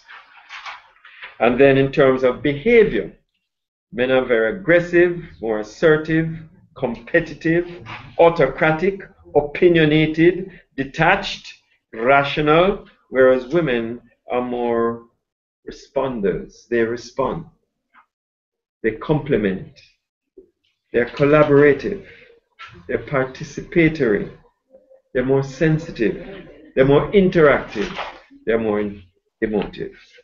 Okay. All right. There's a, an assignment, not an assignment, but a practical exercise. We won't go into that. Then we will come out of 3D. We won't do that because in the last half an hour, I want to tackle vision. I'm not going to spend time on it. I just want to be able to say this to you. Without a vision, people perish. And so, as a leader, if you really want to carry the people, you have to have a vision. A vision is a captured insight into something that's ahead of you. And if you're going to lead people, they have to become excited about something that you see that they don't see yet. So, yes. so the vision necessarily has to be your vision, could it be, uh, could it be a shared vision with the people? And whereas before, is it, is it that it's, it's your vision and then you try, to try to get the people to, to, um, to, um, join with you in that vision, or could it be a sort of shared vision? Okay, Dennis, just help him not to ask him, but to tell. But I'm asking, sir, No, I'm saying tell me. Rephrase it. Rephrase it and tell me what you're asking. Make a statement. And then I'll tell you if you're right or wrong. Okay, I think I think um some visions, some in some circumstances you Yeah. may you may have a vision that is your vision that you have to sell to people. Yes. But I think in other circumstances it might be a vision that um you probably see or you probably even get it from the people. Right. Right. And you're correct. Yeah. And we're going to deal with that. Right? Because one of the skills of a leader is to be able, first, to know what he sees and where he's going. And it's not sufficient that he has it. He's not a leader because he has it. He's a, he becomes a, a leader when he's able to share it and when they can say, ah, me too.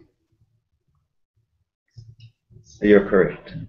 You could emerge from a crowd. You could have a Ah, room and yes. as a leader. Yes, because it can come from somebody else. Right. Okay? And you say, aha, I thought about that too. Or, I never thought about that, but that sounds good to me. Yeah. Yeah.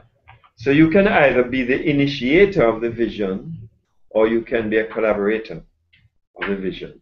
And we're going to touch on that. Um, just, you need to read this. What is a vision? You know, you go through that. Um, oh, page 45 to 50. This is 4A.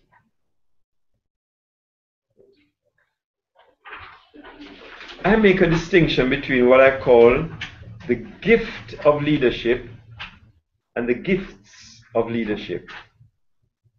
What do you think I'm talking about? The gift of leadership and the gifts of leadership.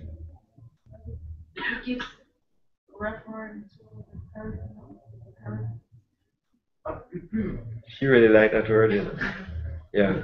Yes, but not only the charisma. Simple, but you're saying it. Gifts of leadership are the abilities, talents, and giftings that a leader may have. But the gift of leadership is saying that leadership is a gift. And we all have the gift of leadership. But what we have to discover are the gifts of leadership that we have. Very important. Let me give you another one. There is a spirit of lead, the spirit of leadership, and there's a leadership spirit. Everybody is born with a leadership spirit. But they have to discover the spirit of leadership. So the leadership spirit is something you have. We are born with it. But we have to discover. That's the journey we're talking about. The spirit of leadership. That is the characteristics of it. Okay?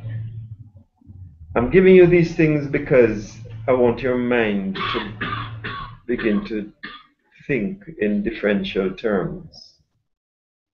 Okay? What is a vision? Down the bottom of that page, vision generates in man purpose. Vision directs man towards specific goals.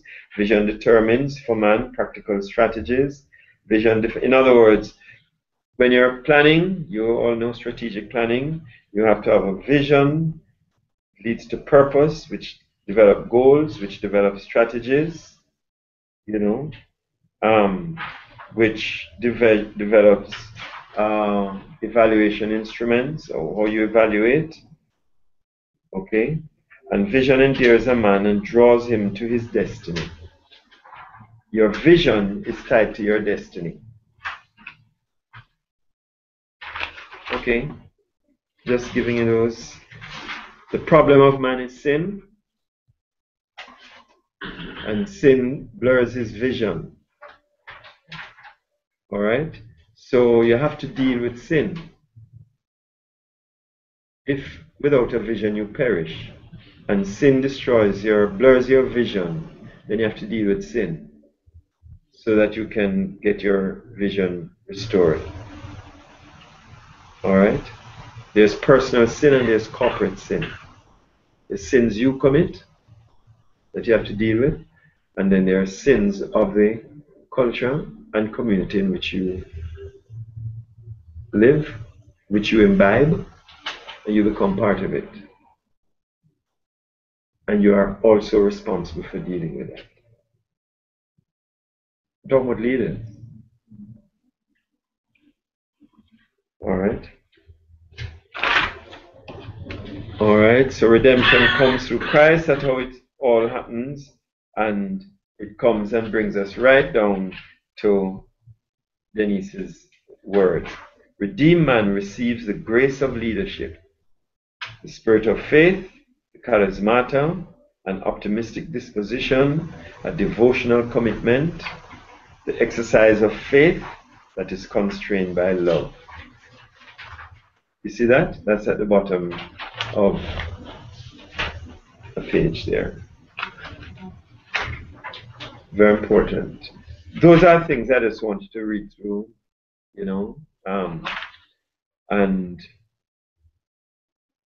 then I come on to looking at the dynamic processing of administration requires a practical breakdown. In other words, a leader has a vision, but the vision has to be administrated.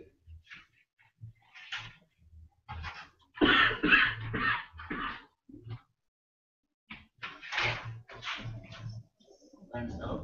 Huh? By himself. No, not necessarily. No. But but but you can't just have a vision. It has to be administrated. In other words, it has to. If you see that section, every man's vision is bigger than him. His first task, you, see that, Mish? His first task is to discover what aspects of this vision is his to achieve. Coming to you. This will be in keeping with the gifting with which he is bestowed. How do you know what part of the vision is yours? Find out what are your gifts. Then he must discern from amongst his own generation the other significant men and women with whom he must collaborate if he is to complete his responsibility in fulfilling God's vision in his generation. In addition, every leader has the promise of God that he, God, will supply all his needs, his resources, according to God's divine riches and glory. Whatever God calls you to do, he will supply. And then the dynamic processing of administration requires a practical breakdown into these goals. So you see, it's not enough to just be a leader. You must appreciate. it. Many people are visionaries, and they die with their vision because they have not sat down with others who can help them to plan, set goals, short term, long term objectives, qualitative objectives, quantitative objectives, strategies, fixed strategies, flexible strategies, and then resource management.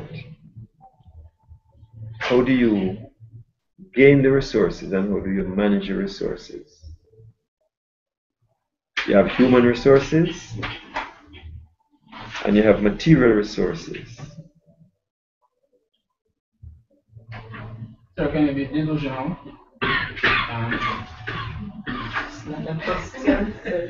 I'm asking a question. Why are you asking me? I don't have the answer. Suppose you think you think you're uh, you think you're this leader Uh-huh. for, for this time, Right. you're actually not. Where, where, where's the check and balance? Then, then you are delusional. So that's what you're telling me.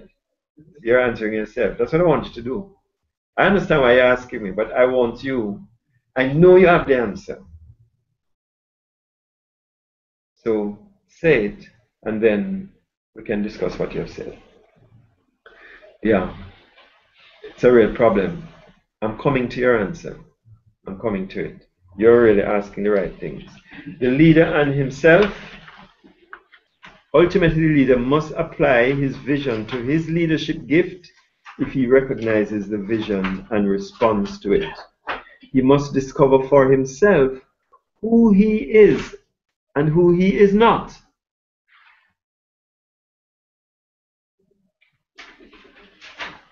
It is so important, Iceland, to know who you are, and equally important to know who you are not. And don't try to be who you are not. And worse, don't try to be who somebody else is. And submit himself to the anointing of the leadership spirit of Christ the discipline of training, and the crucible of personal experience. We could have taken the whole night on this. The awesomeness, pardon me? The crucible of personal experience. What's that mean? What? Ask um, Hopeton can explain that. What do you mean by the crucible of personal experience?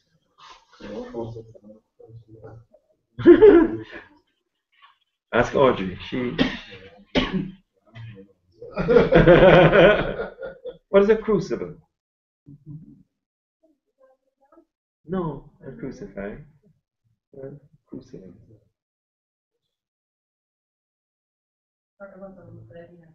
Yeah, man, no friend. It's basically like always in cap just Yeah. click over.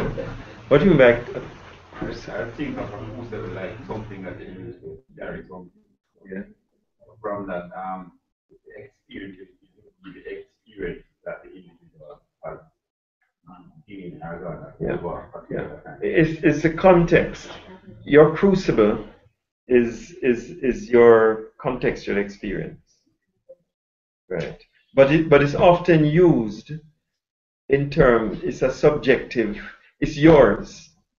And it's your experience, and it's often used in a sacrificial way. In other words, it's your cross. It's your cross.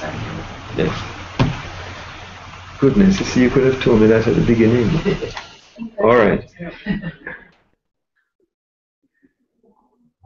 This is statements regarding the relatedness between a man's vision and his gifts. A vision is larger than a person's gifting. Remember that. Okay. Vision usually draws out the gifting of a person. When you have a vision, it draws out your gifts. Vision draws out the motivational passion which drives purpose and desire towards achievement. It's a long sentence. Read it from me, Michelle. The inadequacy of one's gift, No, one? vision. Or vision draws out the motivation passion, which drives purpose and desire toward achievement. What you just read. Tell me what you just said. Who can say what you just read? Will motivate you um, toward the purpose. Yeah, fulfilling your purpose and your goals, your goals and purpose. Yeah, that's very important to understand.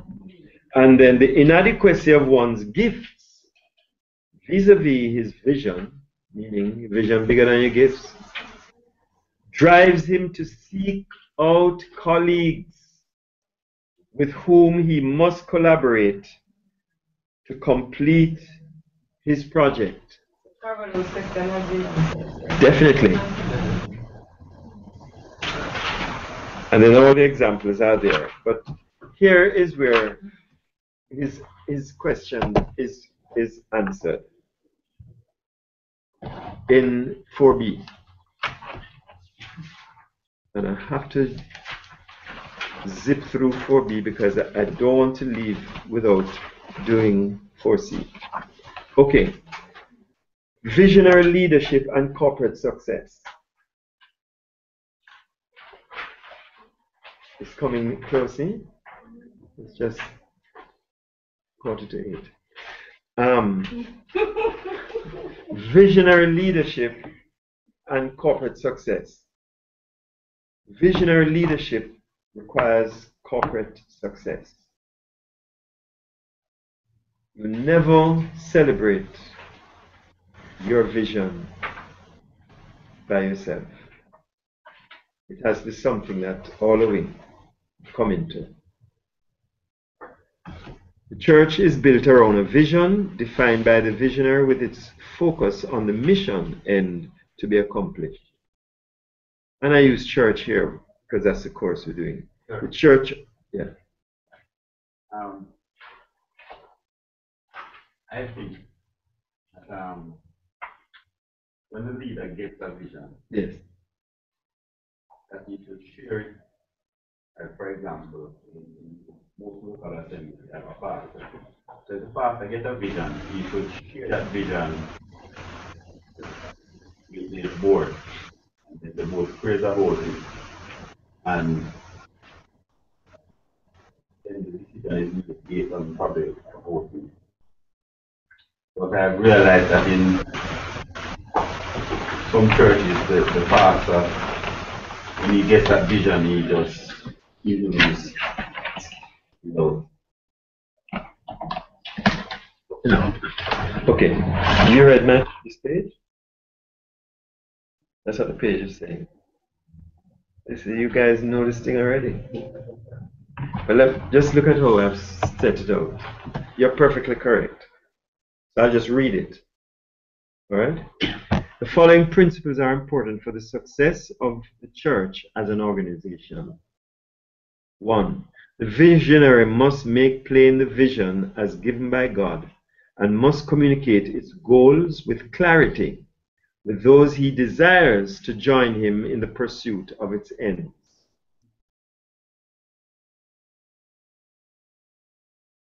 Secondly, the visionary must determine the extent to which he or she will be instrumental in the implementation of the vision. Not every visionary can implement his vision. And ensure that he has the skill, listen to these words, skill, temperament, and the will to pursue it. Three different things. The team must be committed, because he's pulling around himself now, people. The team must be committed both to the vision and to the visionary. That is the lead implementer. The visionary is the lead implementer in order to effectively interpret and carry out the mission. You have to be committed to the vision, but not just the vision. You have to be committed to the visionary. Always remember that. The composition of teams will depend on their function defined with clear terms of reference. You can have a team of advisors, of planners,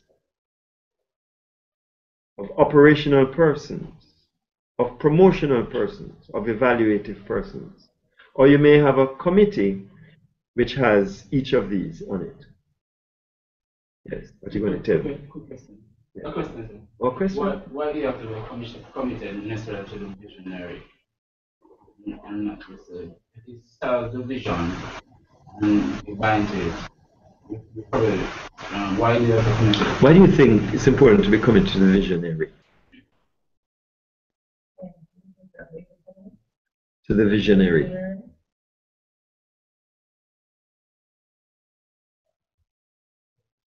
Okay, glad you came to this course. The next line tells you.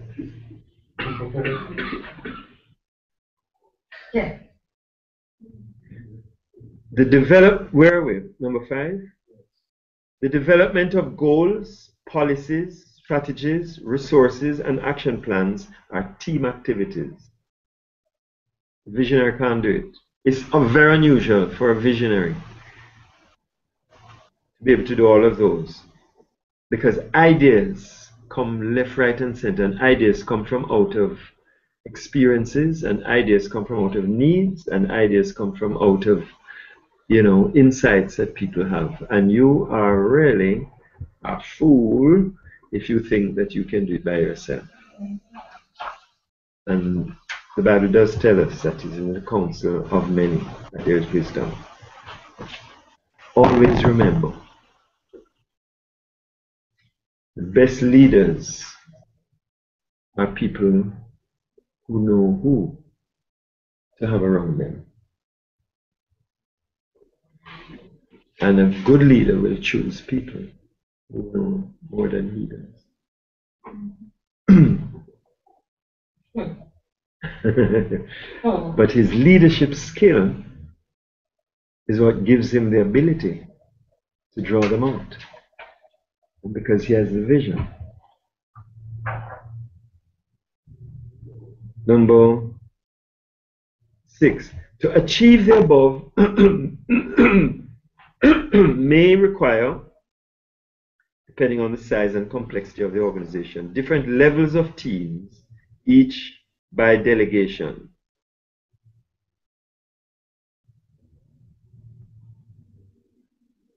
At every level, the influence of the visionary must be evident. Here it is. Whether directly or indirectly, to ensure unified understanding of the vision and commitment to the visionary. Here's why the visionary remains important. Because when you're dealing with a lot of people, especially everybody who said, yes, I'm catch the vision, if you don't follow the visionary, then every man becomes alone to himself. But not only that, the visionary must always measure the work to see whether it lines up with the plumb line, lines up with the vision. That's why you need a commitment. If you're not committed to the visionary, then you don't want him to come around you and to fool around with you when you're trying to carry out your side of it. now, here's a very important part. The commitment between the visionary leader and the leadership team functions on two levels. We're dealing with leadership. One is covenantal and the other is contractual. What do we mean by that? A covenantal commitment is more relational. In other words, Upton, you must relate to your people, those that you're leading. You must have a relationship with your people with the ingredients of trust, respect, and mutuality. People you are leading, there must be trust, must be respect, I respect you, and there must be mutuality, in other words. You know, I talk to you, you listen, you talk to me, I. We give and take. Don't mean you're equal, but there must be mutuality. That's covenantal commitment. Covenant is a relational uh, level. And then there's a contractual commitment that is more operational with the ingredients of roles, responsibilities, and accountability. Denise, this is so critical for you. The people you work with, don't let them tell you, oh, we don't need rules, man. We're all Christians. We trust. Ah, yeah, we trust each other. You need rules. Because I'm making a contract with you. Not because we're good friends, that we will always work together. You're friends who can't work together. Plus, what you want to achieve in your business requires contract. Say, over the next six months, is what we want to produce. And we're going to measure it. And you're accountable to me. God did that in the wilderness. He taught them relationally to love one another. But he gave them a law. If you break the law, he kill you. There's a contract and there's a covenant. And you have to learn the dynamic, these two different dynamics as a leader. You will find, for example, I relate to you here relationally, respecting you, listening, all of that. But you will see is a date when the assignments must come in. No matter how I love you or don't love you, hmm. it better come in. And the terms of that assignment is not what you want. You can't say, oh, Dr. Morgan is a nice guy, man. I just write what I want. you can. And then you lose the A. They give you the A already, but you can lose it. Okay. Now, both levels of commitment are governed by qualities of obligation, integrity, and transparency. All right? So, different types of leaders function within an organization to effect its goals. You have the leader of ideas, he's a visionary. You have the leader of programs, he's the implementer. You have the leader of planning, he's the strategist. You have the leader of systems, that's the administrator. You have the leader of people, that's the motivator. Got that? All right. Every leader must have a relationship with God and must know his stewardship. Every leader must know his team. Okay, before 9 o'clock comes, I just want to look on. Your clock is fast. I just wanted to look, and I'll just introduce this. 4C. 4, 4C. Leadership motivation and influence. You see that? That is so very, very important. Now, let me tell you this. Let me tell you this. No, don't leave me yet. Don't leave me yet. Don't leave me yet.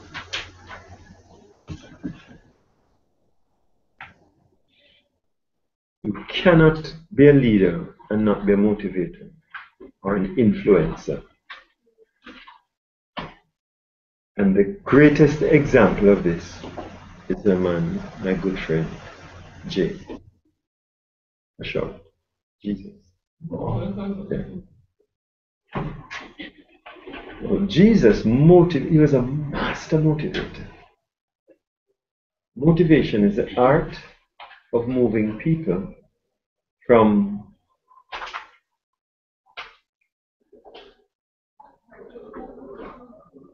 from you know um, let's say conviction to performance right? And uh, elements in the motivational sequence. This is just something that you may want to look at and study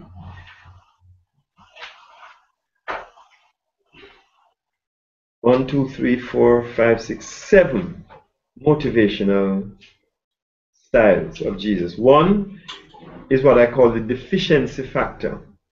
Do you know that Jesus was moved by an awareness of the needs and interests and a sense of dissatisfaction, guilt, imperfection? In other words, people who were deficient use their deficiency to motivate them. We don't do that. We just say, boy, them do have nothing, you know. Can't bother with him. Ah, that's just the people he came for. The weak, the poor, the broken-hearted. He says, let's go after them. Because he discovered that you can motivate a person who becomes conscious that he has nothing. Then there's the duty factor, a sense of obligation. You can motivate people by a sense of obligation. You, you let them know, but you're obligated to do it. Aren't you the man's the child's father? You have an obligation. And Jesus did that. You know, he told people that they had an obligation to obey because they are servants. you see? Then there's a success factor. Jesus did that. He says, Look, chaps, I'm going to send you out in, in twos. I want you to come back because I wanted to see how this thing works. You've seen what I do. And you wonder, how come you do it? I'm going to send you out. He sent them out and they come back and he said, Master, guess what? He saw demons flying. We said all and all of that kind of. Success. Kept them, he trained them and sent out 70 more. You see? The success factor. Always remember. If you can motivate somebody, just give them a little thing to do. Don't give them a big thing, just a little thing.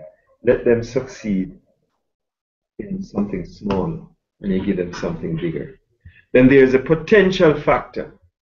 The potential factor is remarkable.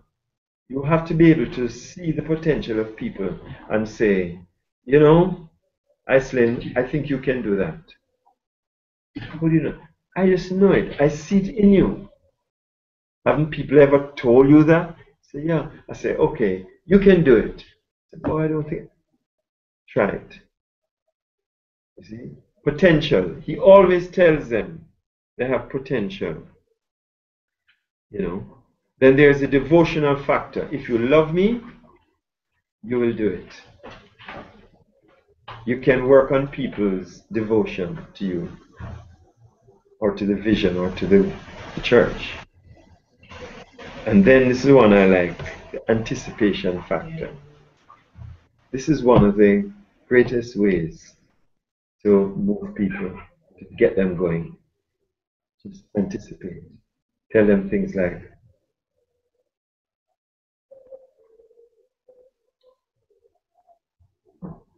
you know, the Father has promised something. When you receive the promise, you'll be full of power. He says to them, Go into all the world and make disciples, and I'll be with you. But he only tells them that, but he don't send them. They're anticipating. So they keep asking, is it time? Kingdom now? Not yet. Not yet. Wait.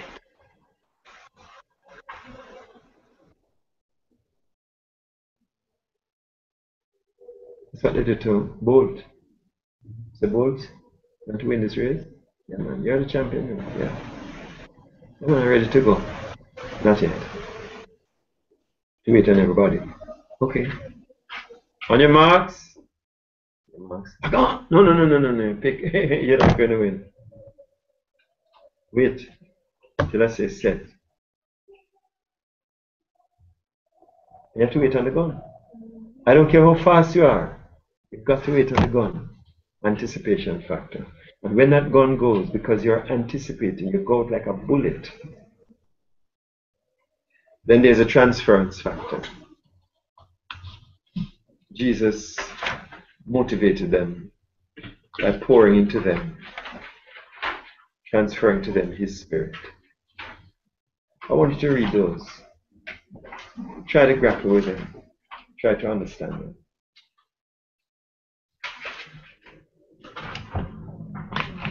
Tomorrow, I do hope that we all will make it out tomorrow, and we are going to go into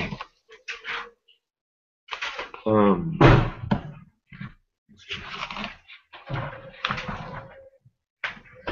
five, five A, five B, and then into the sixes. All right. Yeah, we have taken time away from it. So let's just close and um, tomorrow when we come back we will review what happened tonight. Tomorrow will be a great day. It won't be as intense, but it will be very practical. Huh? Nine.